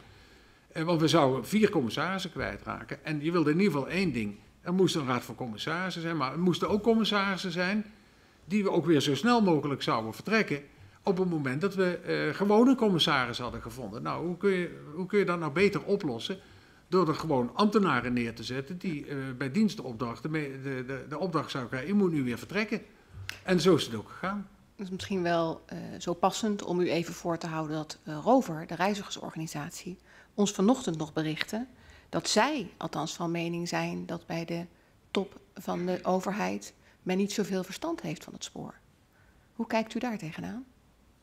Ik heb die uitspraak niet gehoord. Eh, ik weet niet waar die dat op baseert. Ik, wat ik wel weet, dat is dat eh, bij Verkeer en Waterstaat... eh, kijk, spoorwegen is natuurlijk niet van oudsher een product waar VMW heel veel gedetailleerde kennis eh, van had. Dat wel op het gebied van het maken van infrastructuur, water, alles wat bij Rijkswaterstaat zit. Dat was bij VMW natuurlijk voor het spoordossier niet zozeer aanwezig. Dat is overigens ook een van de redenen dat in mijn periode nog, ik denk in 2000, eh, eh, heel bewust als directeur-generaal is aangetrokken Maarten van Egen. Die daarvoor, eh, misschien door een hele vreemde eh, bijkomstigheid, een van de belangrijkste architecten was van dat IC Max eh, aanbod. Dat was een man die, die heel veel wist van het reizigersbedrijf, van het spoorbedrijf. Eh, daar had hij jaren een prominente rol in eh, gespeeld. Is dus heel bewust toen aangetrokken als directeur-generaal personenvervoer. Juist om de kennis eh, van het spoordossier binnen Verkeer en Waterstaat meer op orde te brengen. Dus als, ja, ik, ik heb de uitspraak niet gehoord, maar als de veronderstelling is dat die kennis niet aanwezig was, dan nou, is daar toch meer dan een eh, kleine kanttekening bij te plaatsen. En eh, de nieuwe raad van commissaris, toch ook bestaande uit topambtenaren die het daarvoor toch absoluut niet met elkaar eens waren. Als je kijkt naar de aanbesteding en de gang die moest worden gemaakt. Hoe ging dat dan? Nou, die hadden een hele beperkte opdracht. De opdracht die, eh, die, die wij kregen eh, was om ervoor te zorgen dat er zo snel mogelijk de zaken genormaliseerd eh, zouden worden. Dus de, de, de tijdelijke opvolger van Huizinga, de heer Noordzij, die moest zo snel mogelijk vervangen worden door een definitieve directeur. Net zo goed als ook de commissarissen, de vier overheidscommissarissen, zichzelf zo snel mogelijk overbodig moesten maken door gewone commissarissen aan te trekken. Dat is, daar hebben we de tijd voor genomen, maar die tijd is ook niet langer geweest van, dan, nou, we hoorden in uw introductie zeggen een half jaar. Eh, dan een half jaar. Het zijn een paar vergaderingen van de Raad van Commissarissen geweest en dat was het. Oké. Meneer Pans, wij ehm, gaan langzaam maar zeker dit verhoor besluiten. We hebben veel onderwerpen met u besproken. De plannen van de staat met de NS. Met uiteindelijk, wat we net aan de orde hadden, een wisseling van de Raad van Commissarissen. We hebben gesproken over het vervoer, over de HSL Zuid. En de situatie rondom de aanbesteding en de totstandkoming van die concessie. Ehm, u heeft ons een aantal eh, dingen voorgehouden hoe het liep, met name bij de Oranje Combinatie, waarvan u zegt het was niet echt een bod.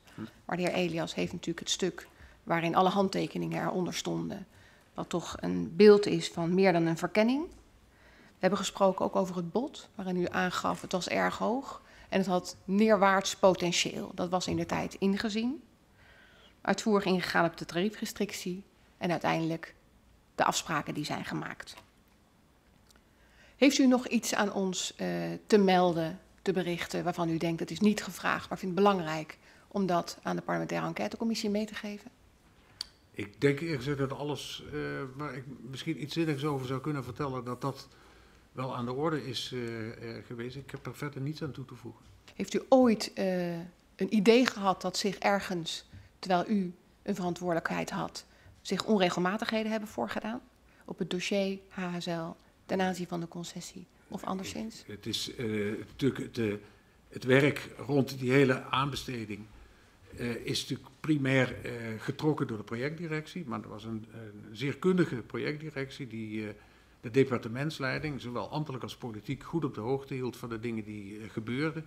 Maar die natuurlijk zelf veel meer in detail met de materie bezig waren. Maar ik heb geen moment het gevoel gehad dat, er, dat de departementsleiding eh, niet goed geïnformeerd was. Nog eh, dat er situaties zich voordeden die niet door de beugel eh, konden. Het was, een, het was een ingewikkeld dossier.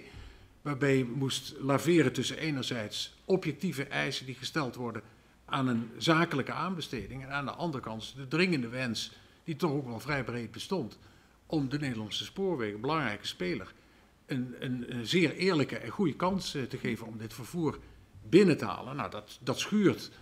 En daar, daar hebben we, ondanks het feit dat in diezelfde periode kwam er aan het eind op terug, ook nogal de nodige spanningen waren binnen het NS-bedrijf eh, zelf, hebben steeds ons best gedaan om desalniettemin toch te proberen NS in stelling te houden.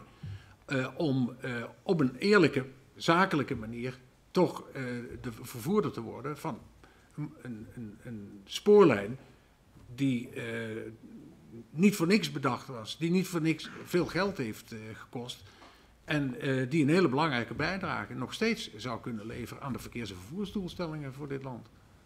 Dank u wel. Dan sluit ik hiermee deze vergadering. Dank u wel.